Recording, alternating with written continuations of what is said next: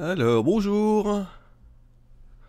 Voilà, je pense que ça a marché. J'ai toujours quelques petits soucis techniques au début.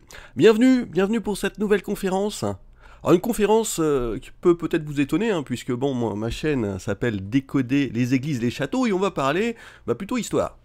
Mais bon, vous le savez, si vous me suivez depuis longtemps, ça fait déjà quelques, j'ai déjà fait quelques conférences en ligne sur, euh, sur l'histoire, notamment une conférence sur les Templiers, eh bien, euh, sur les Templiers, sur euh, les pèlerins, et aujourd'hui justement on va aborder les Templiers. On n'est pas très loin hein, du, sujet des églises et des châteaux, puisque les, bah, les Templiers c'est un ordre religieux et militaire. Et comme vous connaissez aussi ma passion pour le Moyen Âge, et bah, ça me convient très bien, et j'ai beaucoup de questions, hein, j'ai régulièrement des questions sur cet ordre qui est un peu mystérieux. Alors bonjour à tous, je vois que vous êtes en train d'arriver nombreux. Alors je dispose bien mon écran pour que je puisse bien voir les choses. Voilà. Alors donc qu'est-ce qu'on va apprendre aujourd'hui? Qu'est-ce que quels sont les thèmes que je vais aborder aujourd'hui? Alors je vous signale au passage, hein, vous pouvez euh, intervenir régulièrement pendant la vidéo euh, grâce au chat. Hein, puisque sur le, côté, droit, vous pouvez poser vos questions, ou faire vos remarques hein, d'ailleurs. Alors, je regarde si je suis, je pense, voilà, j'ai bon, l'affichage a changé. Alors, donc je vous parlais du programme. Alors, il va se dérouler en 4 temps. 4 temps, donc première partie, euh, une brève histoire des Templiers. C'est histoire un petit peu de vous euh, de mettre tout le monde au même niveau. Hein. Je sais que vous avez des, euh, des, connaissances inégales sur les Templiers. Je pense que je vais avoir quelques spécialistes. là, c'est, je vais revenir sur les bases, on va dire. Euh, très rapidement. La deuxième partie, c'est un portrait des Templiers, donc on va voir euh, quelles étaient euh, la, fonction des Templiers, comment on devenait Templier, quels étaient les différents types de Templiers, comment, quelle était la conduite des Templiers, d'où vient le nom de Templier également. Voilà, etc. La troisième partie, c'est le drame, c'est la chute du temple. Euh, donc je vais vous parler, donc là je vais revenir sur un, je vais zoomer sur une, sur l'histoire des, des, Templiers, donc sur une partie de l'histoire des Templiers, donc comment ces Templiers euh, ont finalement été obligés de, du moins comment l'ordre du Temple a été contraint de disparaître, euh, et enfin, ben, je vais vous parler du retour des Templiers, puisque euh, on voit de plus en plus euh, dans les BD, dans les romans, dans les, dans les jeux vidéo apparaître des Templiers. dans les films également, on le voit, on les voit aussi apparaître dans, autour de nous. C'est-à-dire que vous pouvez croiser aujourd'hui des Templiers. Je vais vous expliquer pourquoi. Alors on commence par la première partie donc on est parti hein, sur, euh, je pense, une heure et demie de, conférence. Euh, voilà, une heure et demie à peu près, hein, ça va un peu dépendre de vos questions. Elles sont, ou de vos remarques, elles sont bienvenues. Alors l'histoire de Templiers, euh, on, est obligé de commencer un petit peu avant. un petit peu avant, un petit peu avant la création de l'ordre du Temple, on est obligé de revenir en 1097-1099 puisque c'est le, c'est la période de la première croisade. Donc vous connaissez, j'ai pas besoin de vous rappeler ce que c'est que la, croisade. En tout cas, le problème, cette croisade a été déclenchée suite à l'interdiction par euh, les musulmans du pèlerinage des chrétiens jusqu'à Jérusalem. Et ça, c'était un drame pour, euh, pour les chrétiens de ne plus aller sur les, le lieu où, euh, où a péri le, Christ. Et donc vous avez une armée de barons qui s'organise en Occident, une armée constituée principalement de, de, Français, hein, si on peut appeler de, des Français à l'époque, mais en tout cas de, constituée principalement de, Francs, c'est peut-être le terme adéquat, et qui vont euh, s'élancer à la conquête de la Terre Sainte, et ils vont y arriver, hein, puisque en quelques années, ils vont réussir à établir ce qu'on va appeler des États latins d'Orient, ou des États francs d'Orient, c'est-à-dire donc toute une succession de, territoires, de royautés ou de principautés euh, sur euh, du côté du Levant. Hein, c'est-à-dire que les, les différents États qui se créent, donc le comté d'Édesse, la principauté d'Antioche, le comté de Tripoli et surtout le royaume de Jérusalem, occupent l'actuel Israël, le Liban, euh, et la Syrie et sûrement un petit peu de la Turquie. Donc ces, euh, euh, chevaliers, ces, croisés, donc arrivent à mettre en place ces États, mais une fois que ces États sont créés, la plupart retournent chez eux, ce qui pose un problème, parce qu'il n'y a plus beaucoup de défenseurs pour assurer la défense contre les attaques musulmanes. C'est pour ça qu'en vers 1119 est créé l'ordre du Temple. Créé, sur, créé par un, chevalier champenois qui s'appelle Hugues de Pin. Pin, ça s'écrit P-A-Y-N-S. Euh, et Hugues de Pin euh, obtient du, euh, du, roi de Jérusalem, Baudouin II, et du patriarche de Jérusalem, le patriarche c'est l'équivalent on va dire de l'archevêque, obtient donc l'autorisation de créer un ordre, c'est-à-dire une, sorte d'association, de, de, groupe de, de, chevaliers qui vont se dévouer à la, à la défense des lieux saints, à la défense de la Terre Sainte.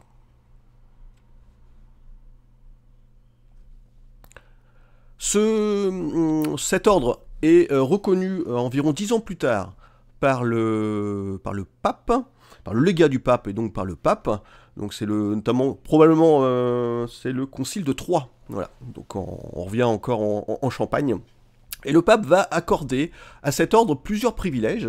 notamment, ce privilège qui est assez important, c'est que désormais, le temple dépend directement du, du pape. Euh, ce qui veut dire que le, pape est libéré des, tutelles locales, par exemple de la tutelle des évêques. Ce qui va poser d'ailleurs quelques, conflits, hein, puisque euh, les papes vont être, les évêques vont plutôt être jaloux de euh, cette indépendance des Templiers à l'égard d'eux.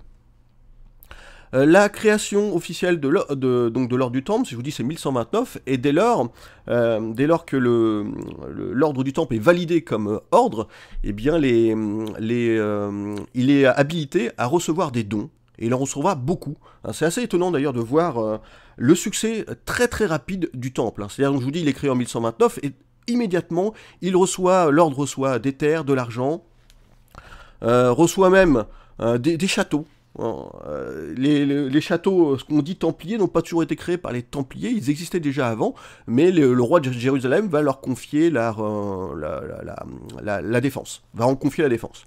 Alors faites attention, hein, le plus, euh, peut-être le plus connu des chevaliers, des, châteaux croisés, hein, c'est le, le, le, crack des chevaliers.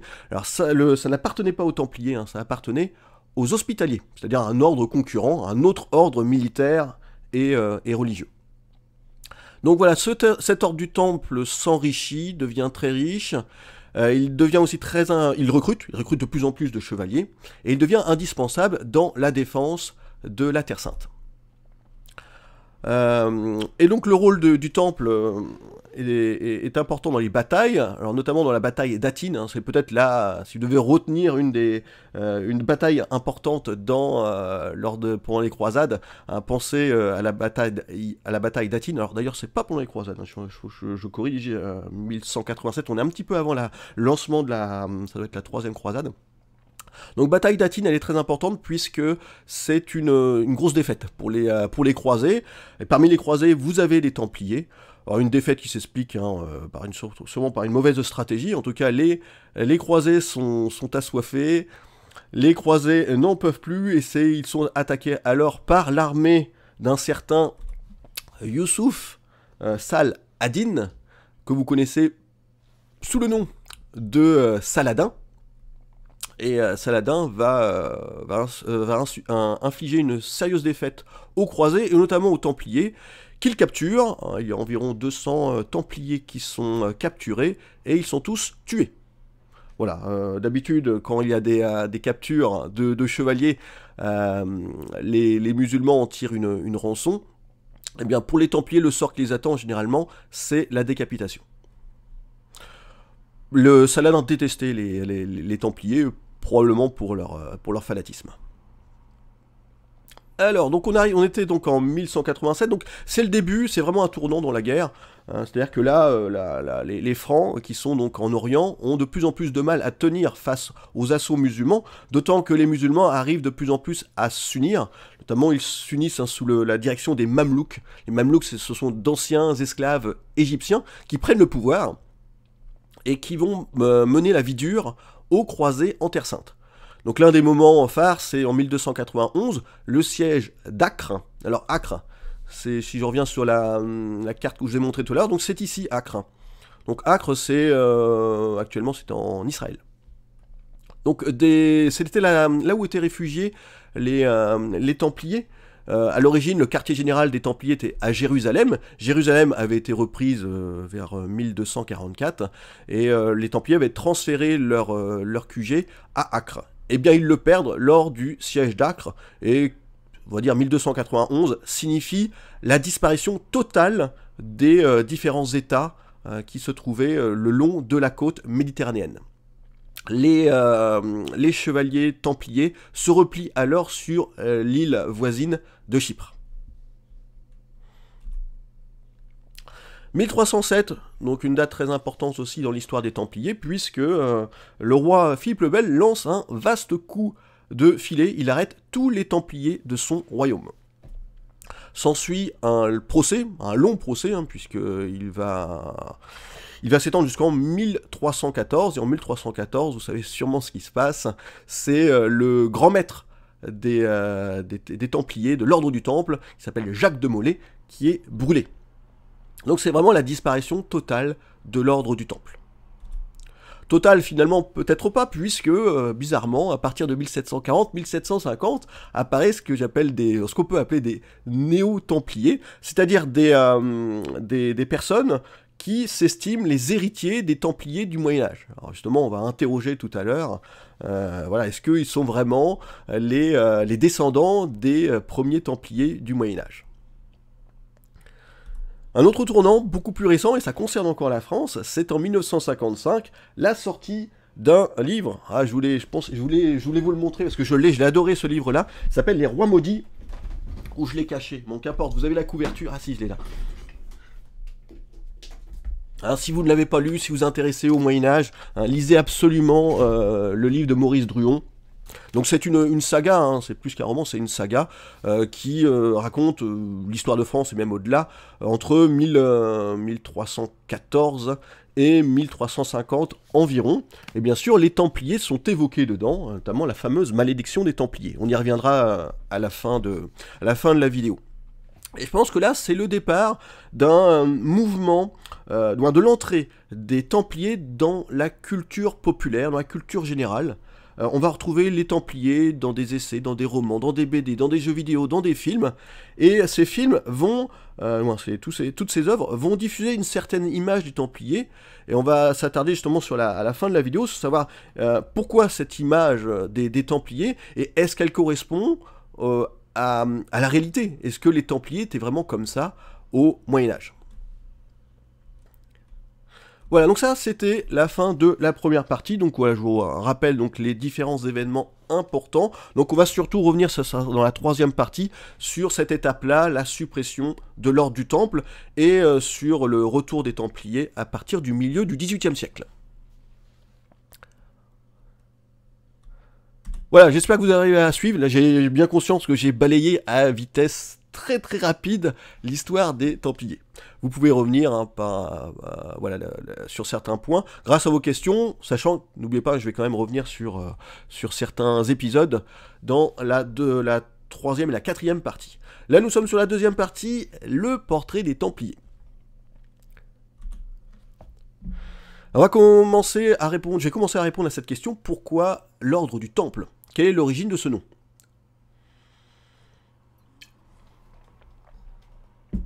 Alors, vous reconnaissez peut-être Jérusalem, précisément euh, euh, l'esplanade des mosquées.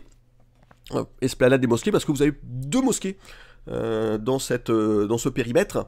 Vous avez donc la mosquée Al-Aqsa et le dôme du rocher qui s'appelait autrefois le temple du Christ ou le temple du Seigneur.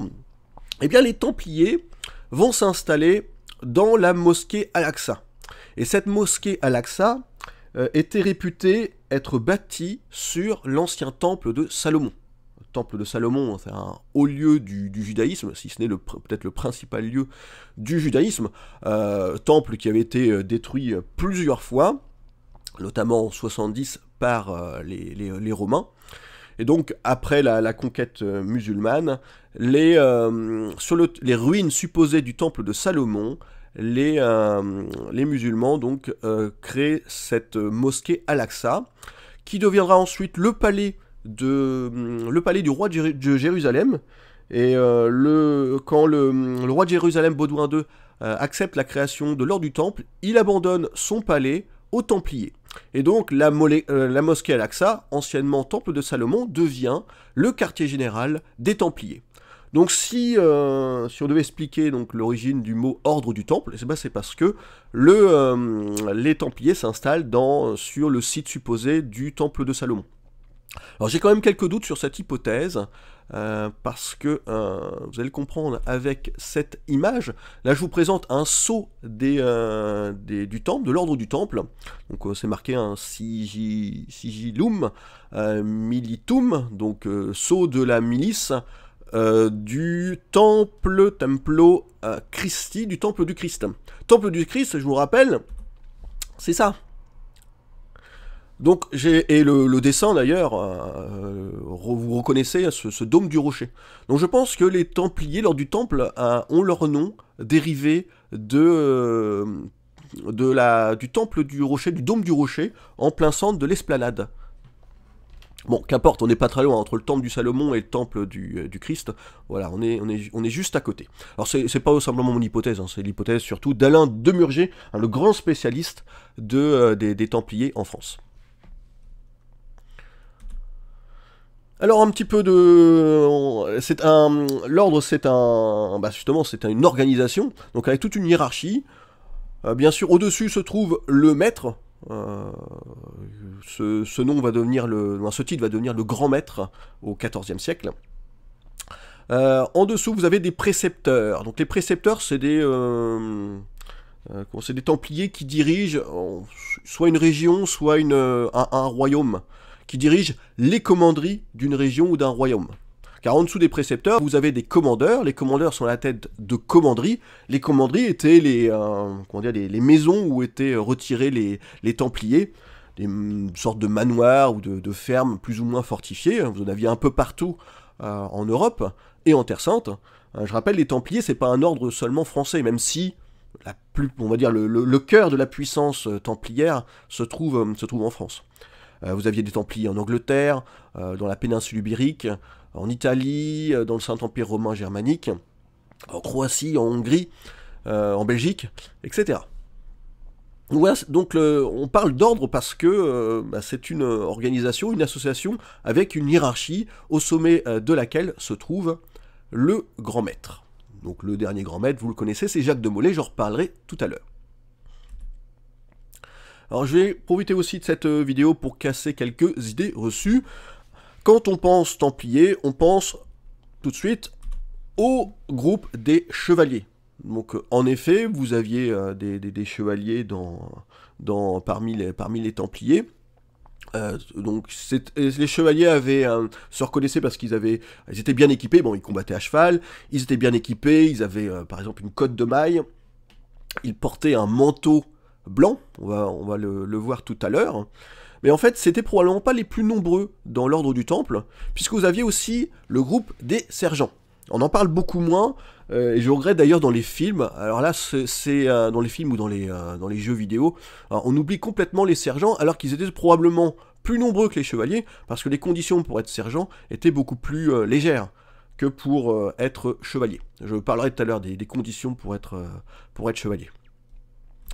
Alors vous avez deux catégories de sergents, euh, les sergents d'armes et les sergents de métier. Donc les sergents d'armes, tout simplement, c'était euh, des sergents qui étaient... Euh, ils avaient à peu près le même rôle que les chevaliers, puisque c'était souvent des, cavaliers, mais ils étaient moins, bien armés. Ils n'avaient pas, par exemple, obligatoirement une, une cote de maille. Ils avaient moins de chevaux. Un chevalier combattait avec trois chevaux, alors bien sûr, il montait pas les trois chevaux en, même temps, mais il avait, on va dire, un cheval de réserve. Il y avait un cheval qui cheval. Oh il y avait un cheval qui était euh, réservé à son écuyer. Il y avait un cheval euh, qui était euh, au cas où le premier cheval était tué. Il y avait un cheval de remplacement. Le sergent d'armes, lui, était un cavalier avec un seul cheval. Il était moins bien armé, mais il était en nombre. Aussi les sergents étaient sûrement aussi nombreux, voire plus nombreux que les, chevaliers. Et donc dans les batailles, il fallait compter sur ces, sur ces sergents d'armes. Alors les sergents, vous pensez tout de suite à un côté militaire, mais euh, n'oubliez pas aussi les sergents de métier. Donc les sergents de métier, c'était euh, ceux qui, euh, bah, c'était ceux qui étaient consacrés à la production. Donc par exemple les paysans, par exemple les, les, artisans. Vous aviez donc des forgerons qui étaient templiers. Vous aviez des armuriers qui étaient templiers. Vous avez des charpentiers qui étaient armuriers, qui étaient templiers. Voilà, vous avez tout ce petit monde qu'on oublie et qui était, qui occupait une place importante, au moins d'un point de vue euh, du point de vue du nombre, euh, dans l'ordre du temple. Enfin, vous aviez une un troisième groupe euh, qu'on oublie aussi, hein, les chapelains. Hein. c'est un ordre religieux, hein, les Templiers. donc, il fallait des hommes pour célébrer les nombreux offices que suivaient chaque jour les Templiers. Et donc, tout cet ensemble forme les frères Templiers. Mais on n'a pas fait le tour des Templiers, puisqu'on peut ajouter des associés. Les associés, c'est par exemple euh, des euh, chevaliers qui euh, temporairement rejoignaient le, le, temple, par exemple pour un ou deux ans. Ils partageaient la vie des Templiers, ils suivaient la règle de vie des Templiers. Puis voilà, au bout de deux ans, ils revenaient à la vie civile, en tout cas dans leur vie habituelle. Vous aviez aussi dans ces associés, vous aviez par exemple des gens qui se donnaient Hein, qui se donnaient euh, vraiment euh, corps et âme, c'est-à-dire ils, euh, ils, donnaient leurs biens aux Templiers et ils donnaient leur force de travail aux Templiers. C'était intéressant pour ces associés parce que du coup ils bénéficiaient aussi des prières des, Templiers. Donc vous avez ces associés, vous aviez donc des chevaliers, vous aviez donc des, pareil, on retrouvait des paysans, des artisans, etc. Vous aviez aussi quelques personnes qui étaient des enfants des adolescents qui étaient offerts aux Templiers, offerts hein, comme, comme main-d'œuvre, on va dire, aux Templiers. Voilà tout le, euh, tout, le panel des Templiers. Vous voyez que c'est un, finalement un monde plus diversifié qu'on le pense. Et à l'intérieur finalement du, du temple, on retrouvait les trois euh, ordres de la société médiévale, ceux qui combattent, ceux qui produisent et ceux qui prient. Maintenant, abordons la question de l'entrée dans le temple. Là, je vous montre un tableau qui euh, représente la réception, autrement dit l'entrée dans l'ordre de Jacques de Molay. Donc c'est un tableau du 19e siècle, hein. ne le prenez pas pour euh, argent comptant. Hein. C'est de la peinture, comme on dit, de la peinture troubadour, donc c'est du Moyen-Âge assez euh, imaginaire.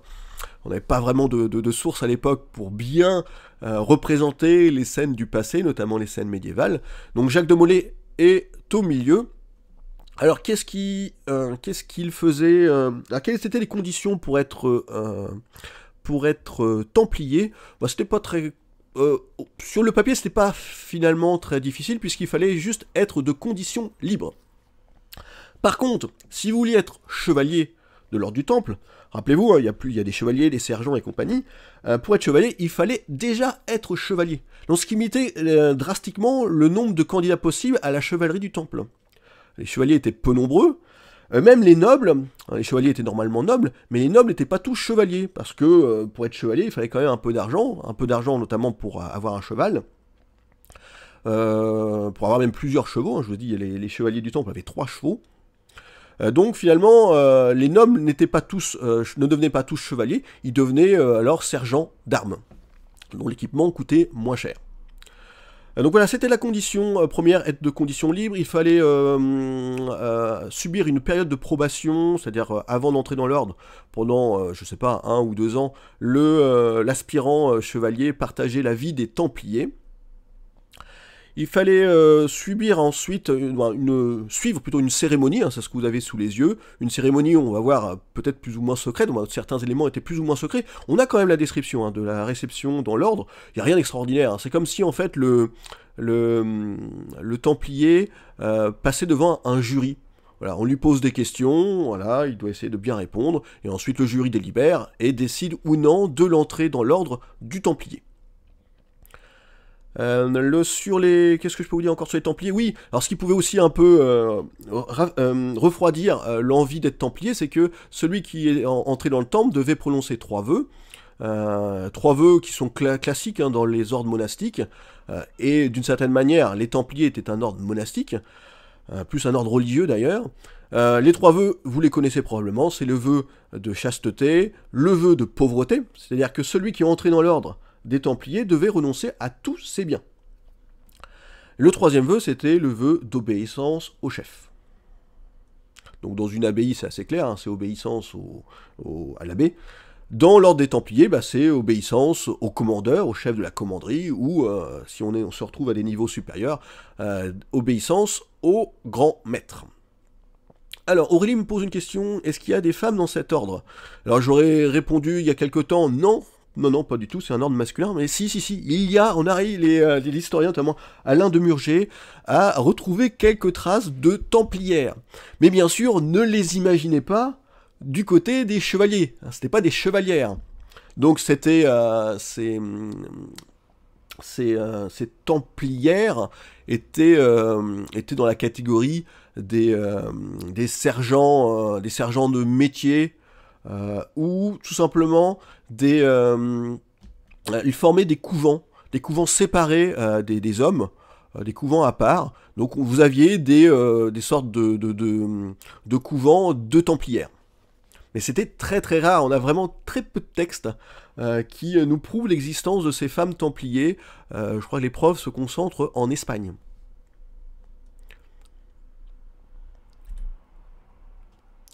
Alors vous allez voir dans cette conférence, je vais vous montrer beaucoup d'images de Kingdom of Heaven. Donc Kingdom of Heaven, c'est un film de Ridley Scott qui est sorti en 2005 et qui évoque la, croisade et notamment les Templiers. Donc j'aime bien Ridley Scott, hein, c'est un, réalisateur qui fait beaucoup de films historiques et qui essaye d'avoir une certaine vraisemblance. Euh, C'est-à-dire qu'il ne s'entoure probablement d'historiens pour avoir, pour être un peu, pour pas raconter, ou surtout pour ne pas montrer n'importe quoi à l'écran. Et il nous montre des Templiers euh, assez convaincants, partiellement convaincants. On va en avoir la preuve avec ce, cette, euh, capture d'écran du, film.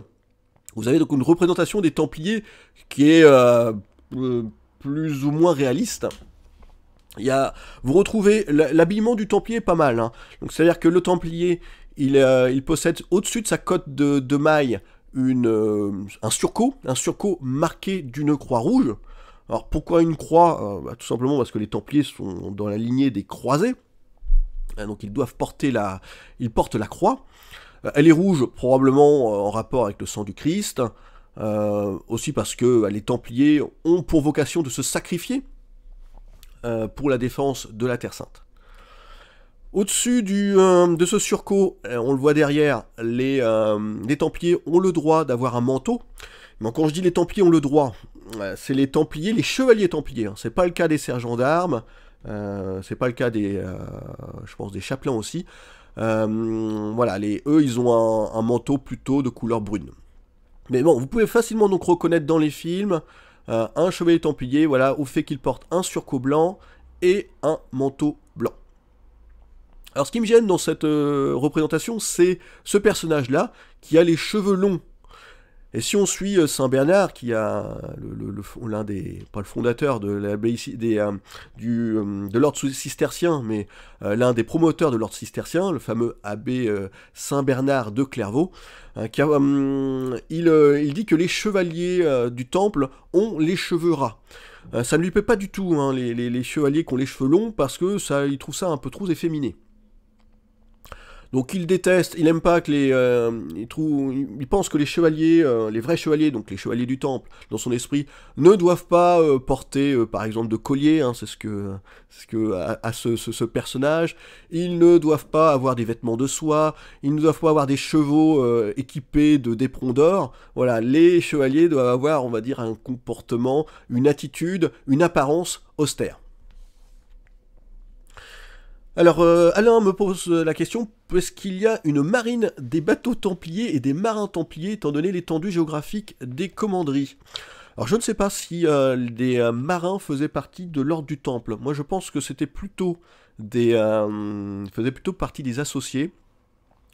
les, par contre, les, les, Templiers avaient bien une flotte à leur disposition, puisque, comme vous le supposez, ils devaient faire pas mal de voyages entre leur possession occidentale, notamment leur possession euh, en France, et, euh, leur, euh, et leur possession orientale en Terre Sainte. Donc bien sûr, ils avaient besoin de bateaux pour transporter les chevaliers, mais aussi tout ce qui servait à la guerre. C'est-à-dire qu'ils transportaient les chevaux, les vivres. et ça ça, ça, remplissait les cargaisons des, navires. Moi, je pense pas que les, que qu'il y avait des Templiers marins, et tout simplement les Templiers louaient le les services de, marins, de marins de Méditerranée. Donc voilà sur l'apparence des, Templiers. alors, je vous disais que c'était un ordre austère. ils n'avaient pas le droit de, de jouer aux échecs et aux dés. Même si j'ai trouvé cette, euh, euh, miniature qui euh, semble prouver le contraire, parce que ce sont bien deux Templiers qui sont de part et d'autre du jeu d'échecs. Mais selon Saint Bernard, voilà, les Templiers ne jouent pas aux jeux d'échecs, ne jouent pas au dés, ne font pas, ne chassent pas, hein, à la différence des autres nobles. ils ne doivent pas rire aussi. Vous voyez, c'est toujours cette image d'un ordre austère. Les Templiers lors des batailles. C'était un, vous n'aviez pas des, Templiers qui, euh, dirigeaient euh, les, batailles. Souvent, les Templiers formaient un contingent, euh, dans, parmi les autres croisés ou parmi les défenseurs de la, Terre Sainte. donc ils ne combattaient pas seuls. Ces Templiers, leur force, c'était leur cavalerie, la cavalerie, lourde, c'est-à-dire que les Templiers euh, correspondait un petit peu au, char d'assaut du, Moyen Âge. C'est-à-dire que quand les ennemis voilà, subissaient ce genre d'assaut de la cavalerie, alors là j'ai un, petit, c'est un tout petit groupe que je vous montre, hein, toujours une image extraite de Kingdom of Heaven. Euh, voilà, c'est un petit groupe. Bon, il faut imaginer voilà plusieurs dizaines, voire plusieurs centaines de, euh, chevaliers qui galopent vers l'ennemi. C'était un choc, un choc pour les adversaires. Euh, ces, chevaliers formaient justement une troupe de choc qui pouvait euh, complètement décimer, désorganiser en tout cas, des euh, contingents ennemis. Donc il est très important d'avoir ces Templiers au sein d'une bataille, au sein du, groupe des croisés. Et ils faisaient des ravages. ils étaient si réputés les, les, les Templiers qu'on les mettait en première ligne ou alors on les mettait en dernière ligne pour couvrir une éventuelle retraite.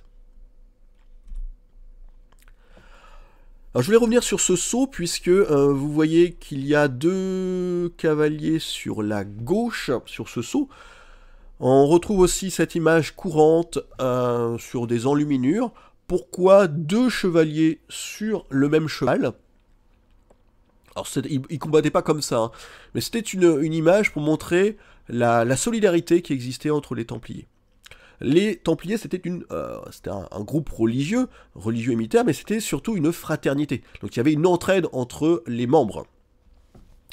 Si bien que euh, dans les batailles, quand euh, les Templiers ne se rendaient pas, tant que le porteur du drapeau, le drapeau vous l'avez à droite, c'est une sorte de bannière en fait, qu'on appelle le beau qui se reconnaît à, sa bichromie, blanc et, blanc et noir, Notons que le, ce,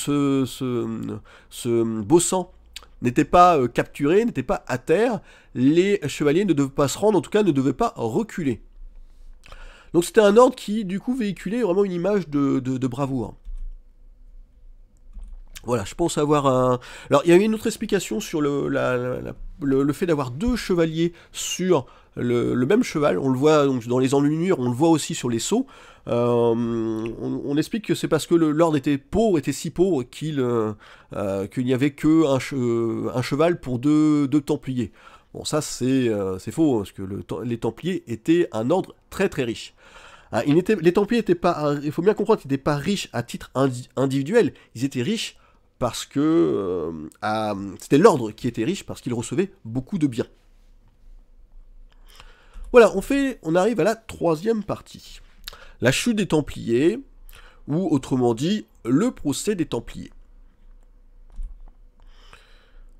Tout commence par un grand coup de filet. Euh, nous sommes le euh, vendredi 13 octobre 1307.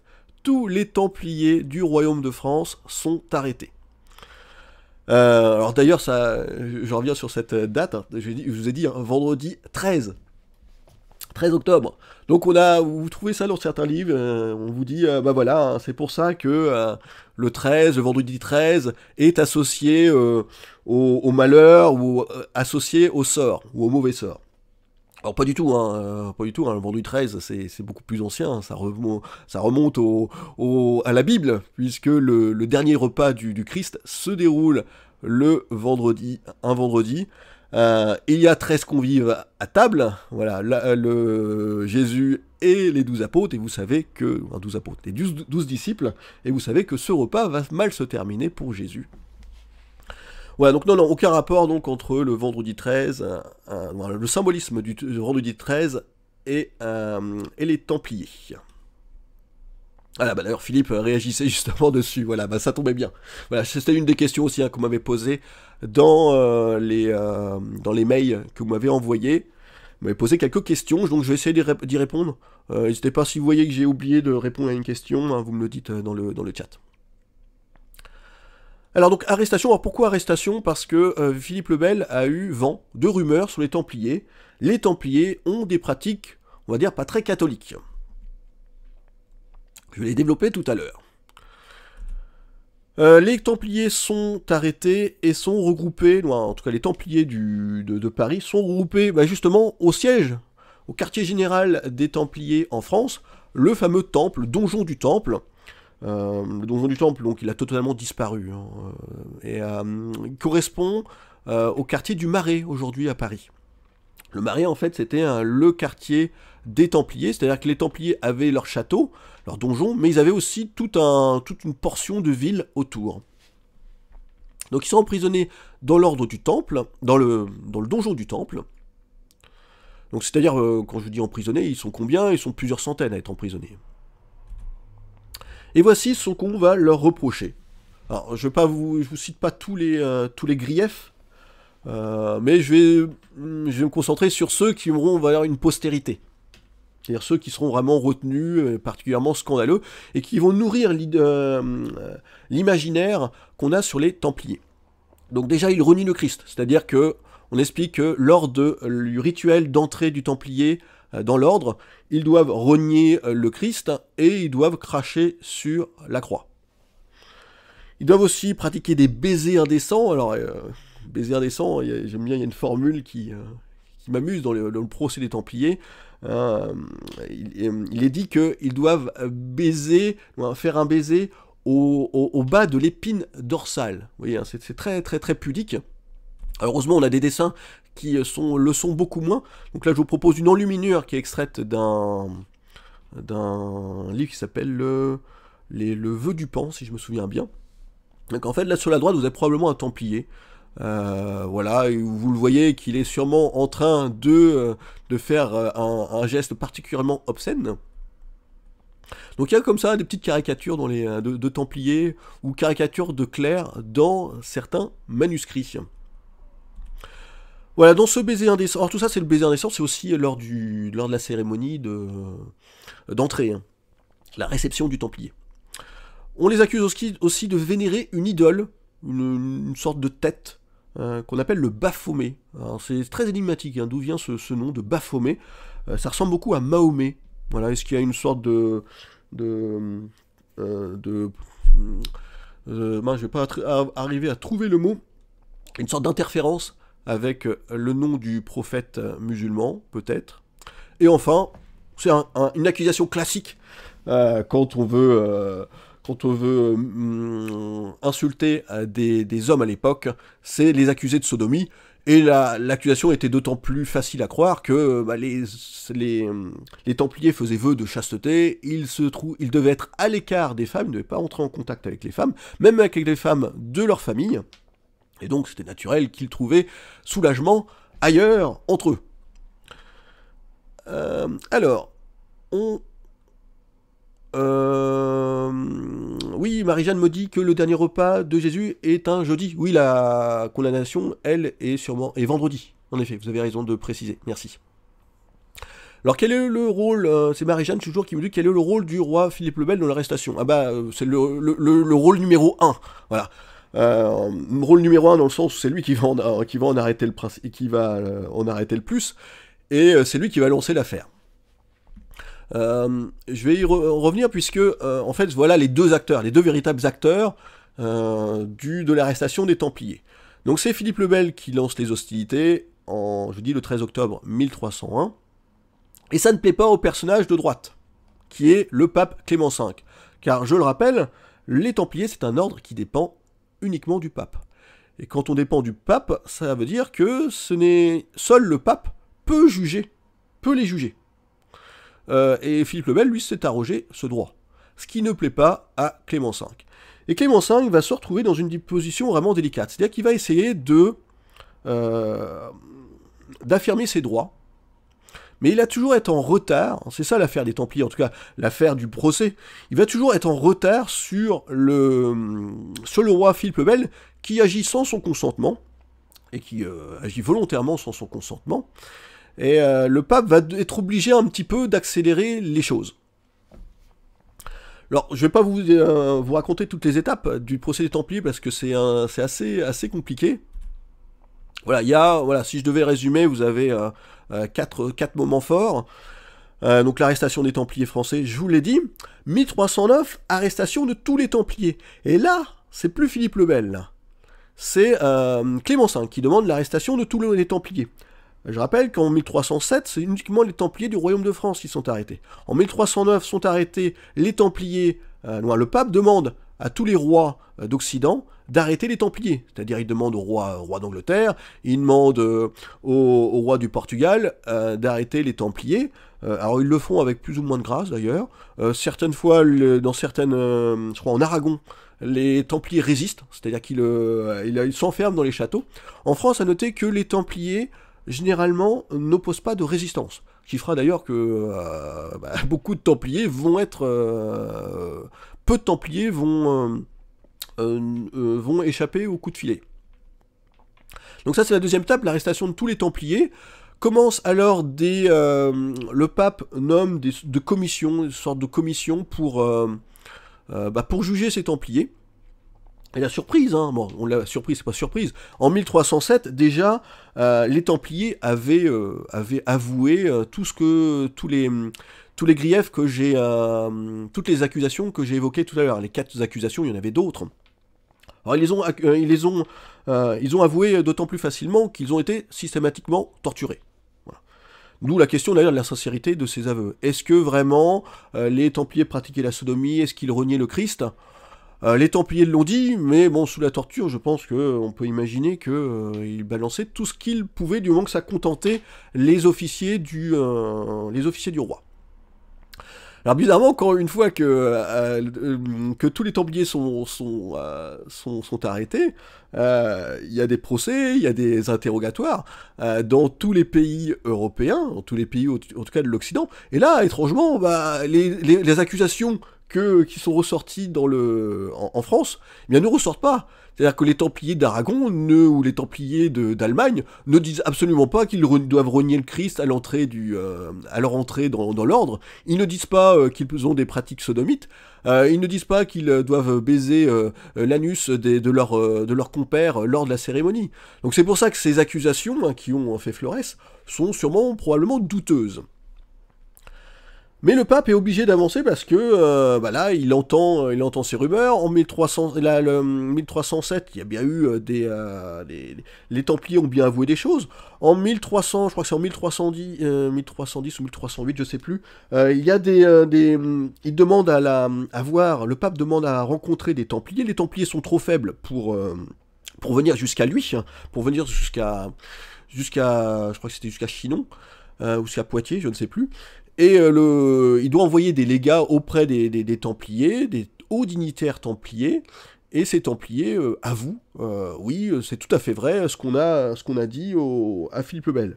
Mais bon, il faut sûrement comprendre que les Templiers avaient, devaient être menacés, devaient être menacés de la torture, et ils ont continué à avouer. Il y a quand même en 1310 des Templiers qui se rebellent, Hein, vous avez 600 Templiers qui, euh, euh, qui déclarent, des Templiers qui ont été libérés, hein, euh, qui déclarent que bah non, c'est totalement faux, les accusations sont, sont, sont, sont, complètement inventées, ont été provoquées par la torture. Donc Philippe le Bel est bien embêté, Philippe le Bel fait brûler 54 Templiers par l'intermédiaire de l'archevêque de Sens. Et le fait de faire ça, eh bien, ça calme, on va dire, la défense des Templiers. Ils se disent, oh là là, faut peut-être qu'on se taise, parce que sinon on est bon pour finir sur le bûcher. Le pape, lui, il est bien embêté par cette histoire. Hein, puisque euh, les Templiers ne euh, font partie de son ordre. Hein, c'est un peu comme, euh, comme vous avez la même chose dans les gouvernements d'aujourd'hui. à partir du moment où un ministre est attaqué, hein, il est accusé, je sais pas, d'avoir de, tirer profit de, sa, fonction, je sais pas, d'organiser des, dîners somptueux avec du homard, ou il est accusé d'avoir eu un mauvais comportement avec euh, d'avoir été violent envers des femmes, bon bah ça rejaillit toujours sur le chef. Et donc le chef, il est toujours embêté, même si les accusations peuvent être fausses, il est embêté, il peut difficilement maintenir le euh, l'objet, euh, la cible des critiques. Et c'est ce qui va avirer, c'est le pape est un petit peu obligé lui aussi de, bah, de suivre l'opinion publique, de suivre à contre-cœur ce que Philippe le Bel veut qu'il veut qu'il fasse. Alors, donc, euh, je vois Marc me pose une question, je l'aborderai tout à l'heure, euh, les, raisons de l'acharnement de, Philippe le Bel.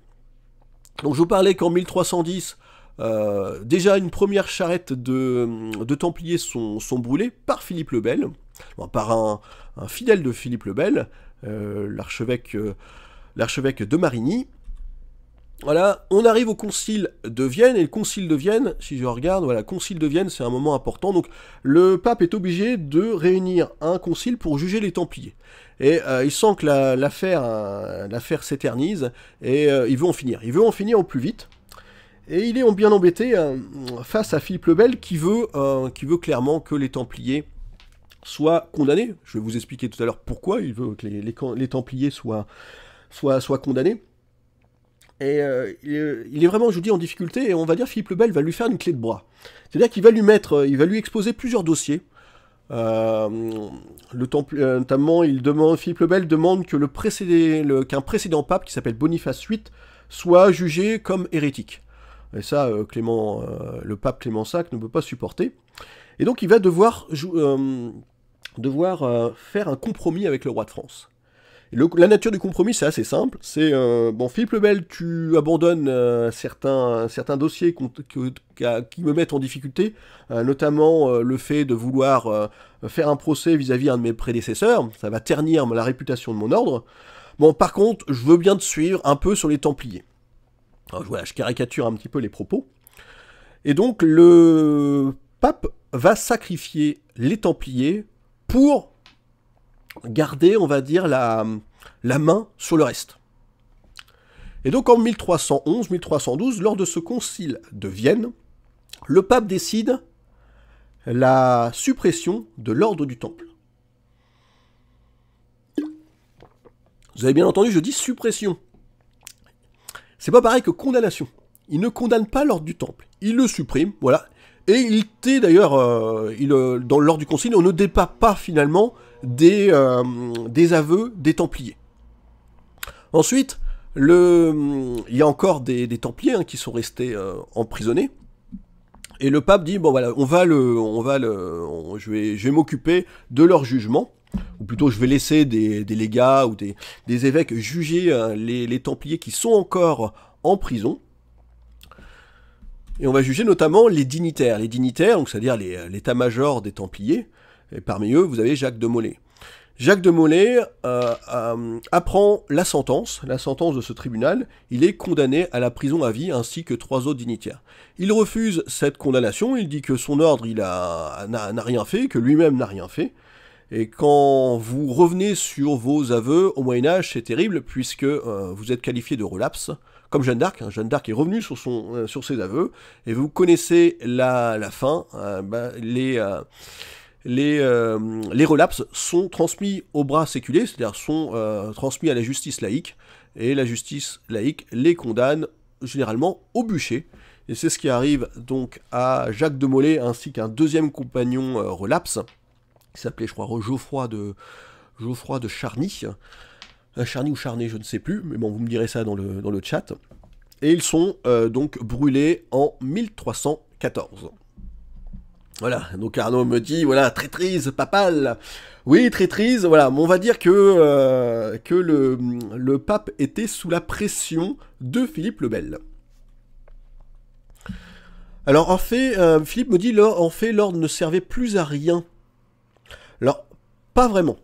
C'est vrai que je vous ai dit en 1291, le pape n'est plus... Euh, le pape, je commence à dire fatiguer là. Hein. Euh, les, euh, les Templiers n'occupent plus la Terre Sainte. Ils ont été rejetés. Ils sont sur, ils sont basés désormais sur l'île de Chypre. Mais il faut penser qu'à partir de là, en fait, ils organisent la contre-attaque. notamment, ils vont essayer de faire une alliance avec les Mongols. Les Mongols, c'est le temps de l'expansion, la grande expansion des Mongols. Et ils vont essayer donc de faire une alliance avec les Mongols. Comme ça, les musulmans vont être pris en étau. Alors malheureusement, cette alliance va, échouer, les Mongols ne vont pas être au rendez-vous. Euh, mais les, Templiers sont quand même actifs, ils vont tenter quelques débarquements sur les, côtes, euh, les côtes du Levant.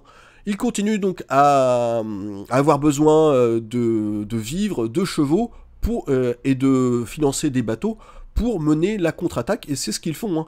Et lorsque Jacques de Molay, en, 1307, quitte Chypre pour revenir dans le royaume de France, c'est pour préparer la, une nouvelle croisade. Hein, on lui a fait, fait penser qu'une nouvelle croisade était en préparation de la part de, Philippe le Bel et d'autres princes. Donc il est là pour l'organiser. Donc les Templiers sont pas encore inutiles euh, au moment du, euh, du procès. Alors Mireille me demande, est-ce qu'on peut avoir une idée du nombre total de Templiers exterminés en France? euh, Oui, on a une, certaine idée, puisqu'on sait à peu près le nombre de Templiers qui ont brûlé, qui ont terminé sous le bûcher. Je crois que le chiffre, ça va être une soixantaine. Euh, voilà, c'est pas énorme. Hein. Euh, je rappelle que euh, les, Templiers, c'est plusieurs.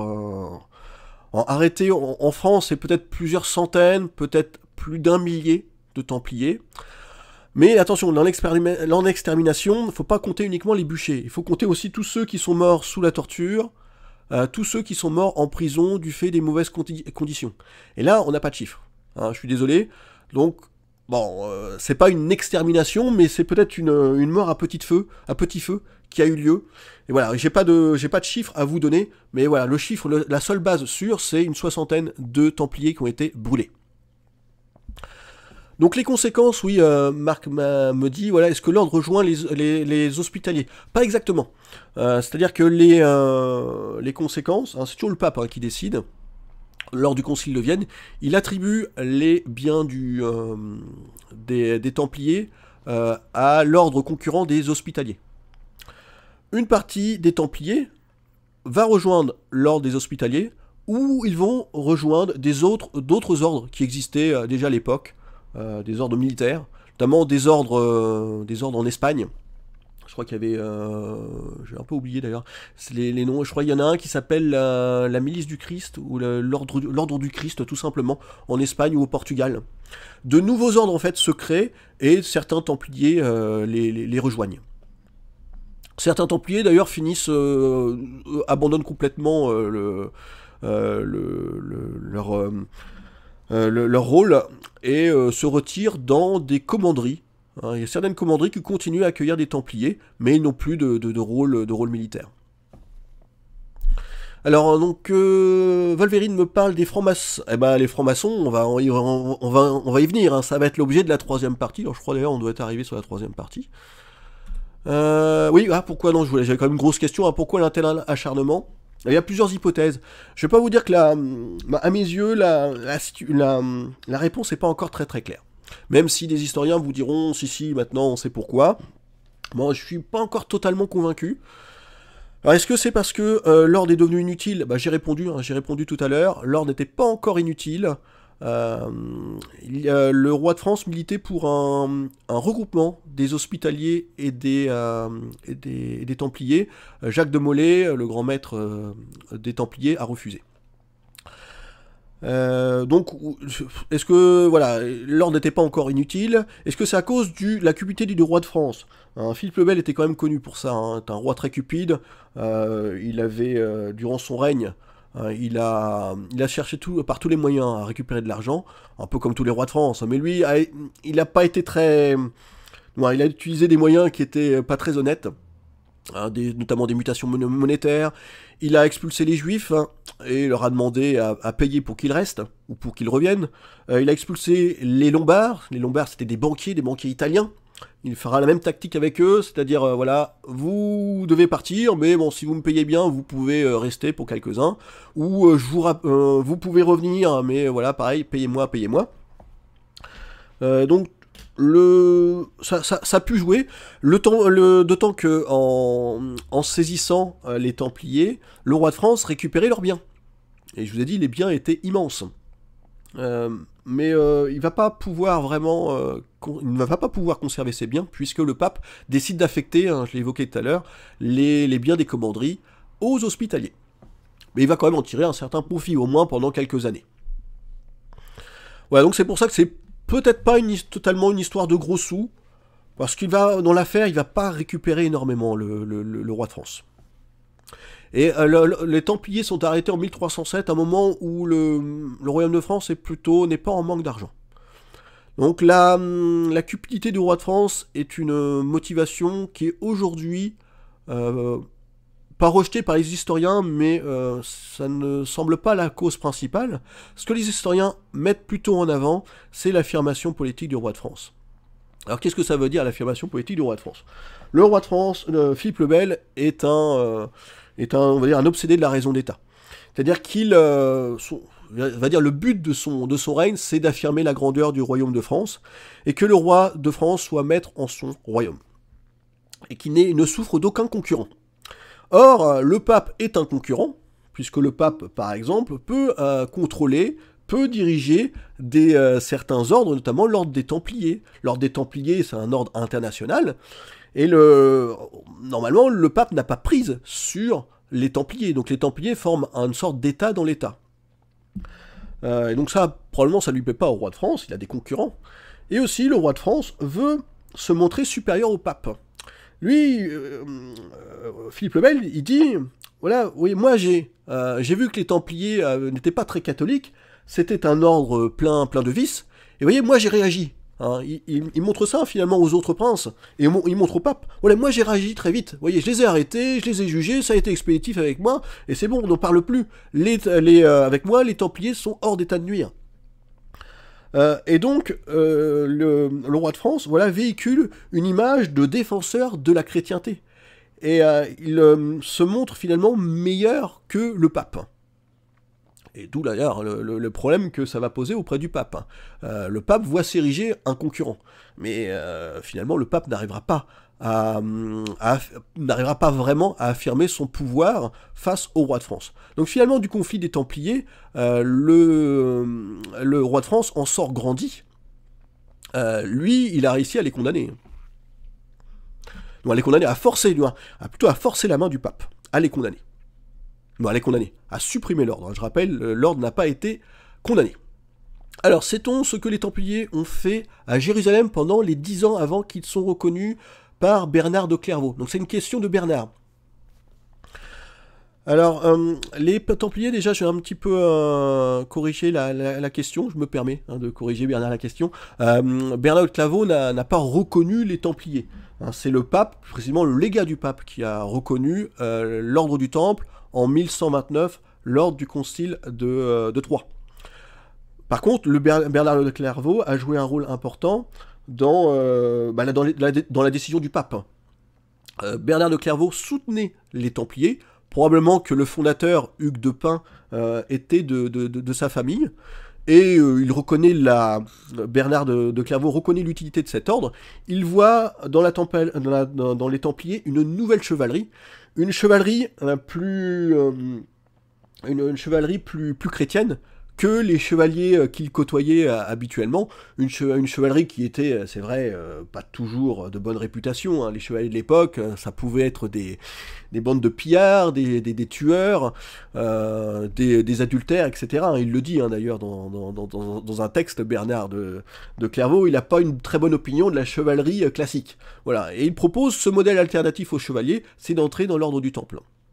Alors que faisait donc quand, vous posez la question euh, que faisait-il dix ans avant qu'il soit reconnu par Bernard Clairvaux Alors je pense que vous voulez dire euh, dix ans avant plutôt qu'il soit reconnu par le par le roi de Jérusalem Baudouin II en 1119, non en 1129. ils étaient déjà, ils étaient au service en fait de chanoines à Jérusalem. Euh, ils, faisaient un petit, formaient un tout petit groupe. Hein. Un chroniqueur nous dit qu'ils étaient juste neuf. Et ils étaient déjà consacrés à la défense des pèlerins et la défense des lieux saints. Donc ils avaient déjà une fonction. Euh, mais euh, ce que Hugues de Pin, le fondateur, regrettait, c'est qu'ils n'avaient pas une fonction officielle. Et ils n'avaient pas une règle de vie. C'est ce que va leur apporter la création de l'ordre des Templiers. Alors le trésor des Templiers, je pense que je vais c'est une question de, Philippe et je vais le, je en parler, je pense tout à l'heure, dans les, euh, l'imaginaire qu'on a sur les Templiers. Vous voyez, je vous fais patienter. Hein. il faut que vous ayez au bout de la vidéo. Hein. Voilà, on est au bout du, on est arrivé à, une heure, donc je pense, ouais, je vais être dans les temps. On va parler maintenant du retour des Templiers. Euh, Bernard me dit, est-ce dit qu'ils ont fouillé sous l'esplanade du temple Ça aussi, je vais, euh, en parler d'où vient cette, euh, à mon avis, cette légende. Alors je remercie, je crois que c'est Alain, Alain de Paris, qui m'a envoyé cette image. Hein, qui une image qui est, tout, qui est assez récente, hein, qui est, je crois, des années en 2014, date de 2014. Hein, donc Alain habite à Paris et dans, sur l'île de la Cité, il a été surpris de croiser euh, des, gens comme ça, habillés comme ça, qui sont, euh, qui se prennent pour les, euh, pour les Templiers, qui se considèrent comme les Templiers. Et où se dirigeait ce groupe? Il se dirigeait vers cette plaque qui est sur une extrémité de, l'île de la Cité, et qui correspond en fait à l'emplacement où a été, l'emplacement supposé, où a été brûlé Jacques de Molay. Donc cette plaque a été, vous voyez, posée au nom de tous les chevaliers templiers du monde. Euh, et euh, c'était précisément le groupe des chevaliers templiers chrétiens de l'ordre international Jacques de Molay. Donc vous avez actuellement des euh, groupes de, templiers qui perpétuent la mémoire des, templiers ou qui s'estiment les héritiers des, templiers. Et cette idée de, filiation avec les, templiers du Moyen Âge, elle, elle émerge au XVIIIe siècle, euh, mais se développe surtout en France au euh, début du XIXe siècle avec ce personnage, Bernard Raymond Fabré Palapra. Je pense que peu de gens le connaissent, mais c'est un personnage, mais vraiment il faut... Moi j'ai un peu exploré sa biographie, mais c'est passionnant. Fabré Palapra est en fait un médecin franc-maçon. Euh, il, il considère on lui apprend en fait que les, euh, les Templiers n'ont pas disparu en 1314 ou à la suite du procès, et que après la mort de, Jacques de Molay, eh bien un nouveau maître a été euh, a été nommé. Et que toute une succession de grands maîtres se sont succédés jusqu'à aujourd'hui, jusqu'à aujourd'hui, c'est-à-dire le euh, à l'époque de, de Fabré Palapra, on est au temps de, de, Napoléon, donc en vers 1804, et que le nouveau grand maître, eh ben ça sera lui, c'est Fabré Palapra. Donc Fabré Palapra est nommé euh, grand maître de l'ordre du Temple. Il ressuscite un ordre du Temple, euh, mais il le met, euh, le met en avant. avant, avant l'ordre avait une, une si on, si on, croit à ce qu'il a, si on, si on, se met dans son, dans sa tête, il croit que donc l'ordre du Temple n'a pas disparu et il a vécu cet ordre de, de manière occulte. Et bien en 1804, Fabré Palapra le remet au goût du jour, il refonde un ordre du temple, mais un ordre du temple cette fois public. Avec bien sûr toujours des conditions, hein, des conditions pour entrer, avec un rite d'initiation, un rituel d'entrée des cérémonies. Alors c'est euh, Fabré Palapra euh, crée des, diplômes, des diplômes aux membres qui euh, prétendent à entrer dans son ordre. Donc voilà, vous avez un, ordre, ça, m'amuse beaucoup ce, texte. C'est marqué donc la, milice du temple, euh, à la gloire de Dieu, Bernard Raymond. Bernard Raymond, c'est le, prénom donc de, Fabré Palapra. Euh, maître, maître suprême euh, de et par maître suprême par la grâce de Dieu et par le suffrage de ses frères voilà, euh, je, euh, salue. Voilà, donc il, parle un peu comme le comme un roi de France. Hein, ça, on retrouve la même euh, la même caractéristique des lettres des lettres des, lettres royales, le même départ. Euh, donc j'ai une question aussi. Pourquoi un drapeau jaune et rouge? Alors, euh, ah, il y avait peut-être un drapeau tout à l'heure. J'ai pas vu, c'était jaune. Ah, je peux pas dire. Euh, est-ce que c'est les couleurs du Vatican, jaune et rouge? Je pense. C'est peut-être voilà un lien avec les couleurs du Vatican, peut-être.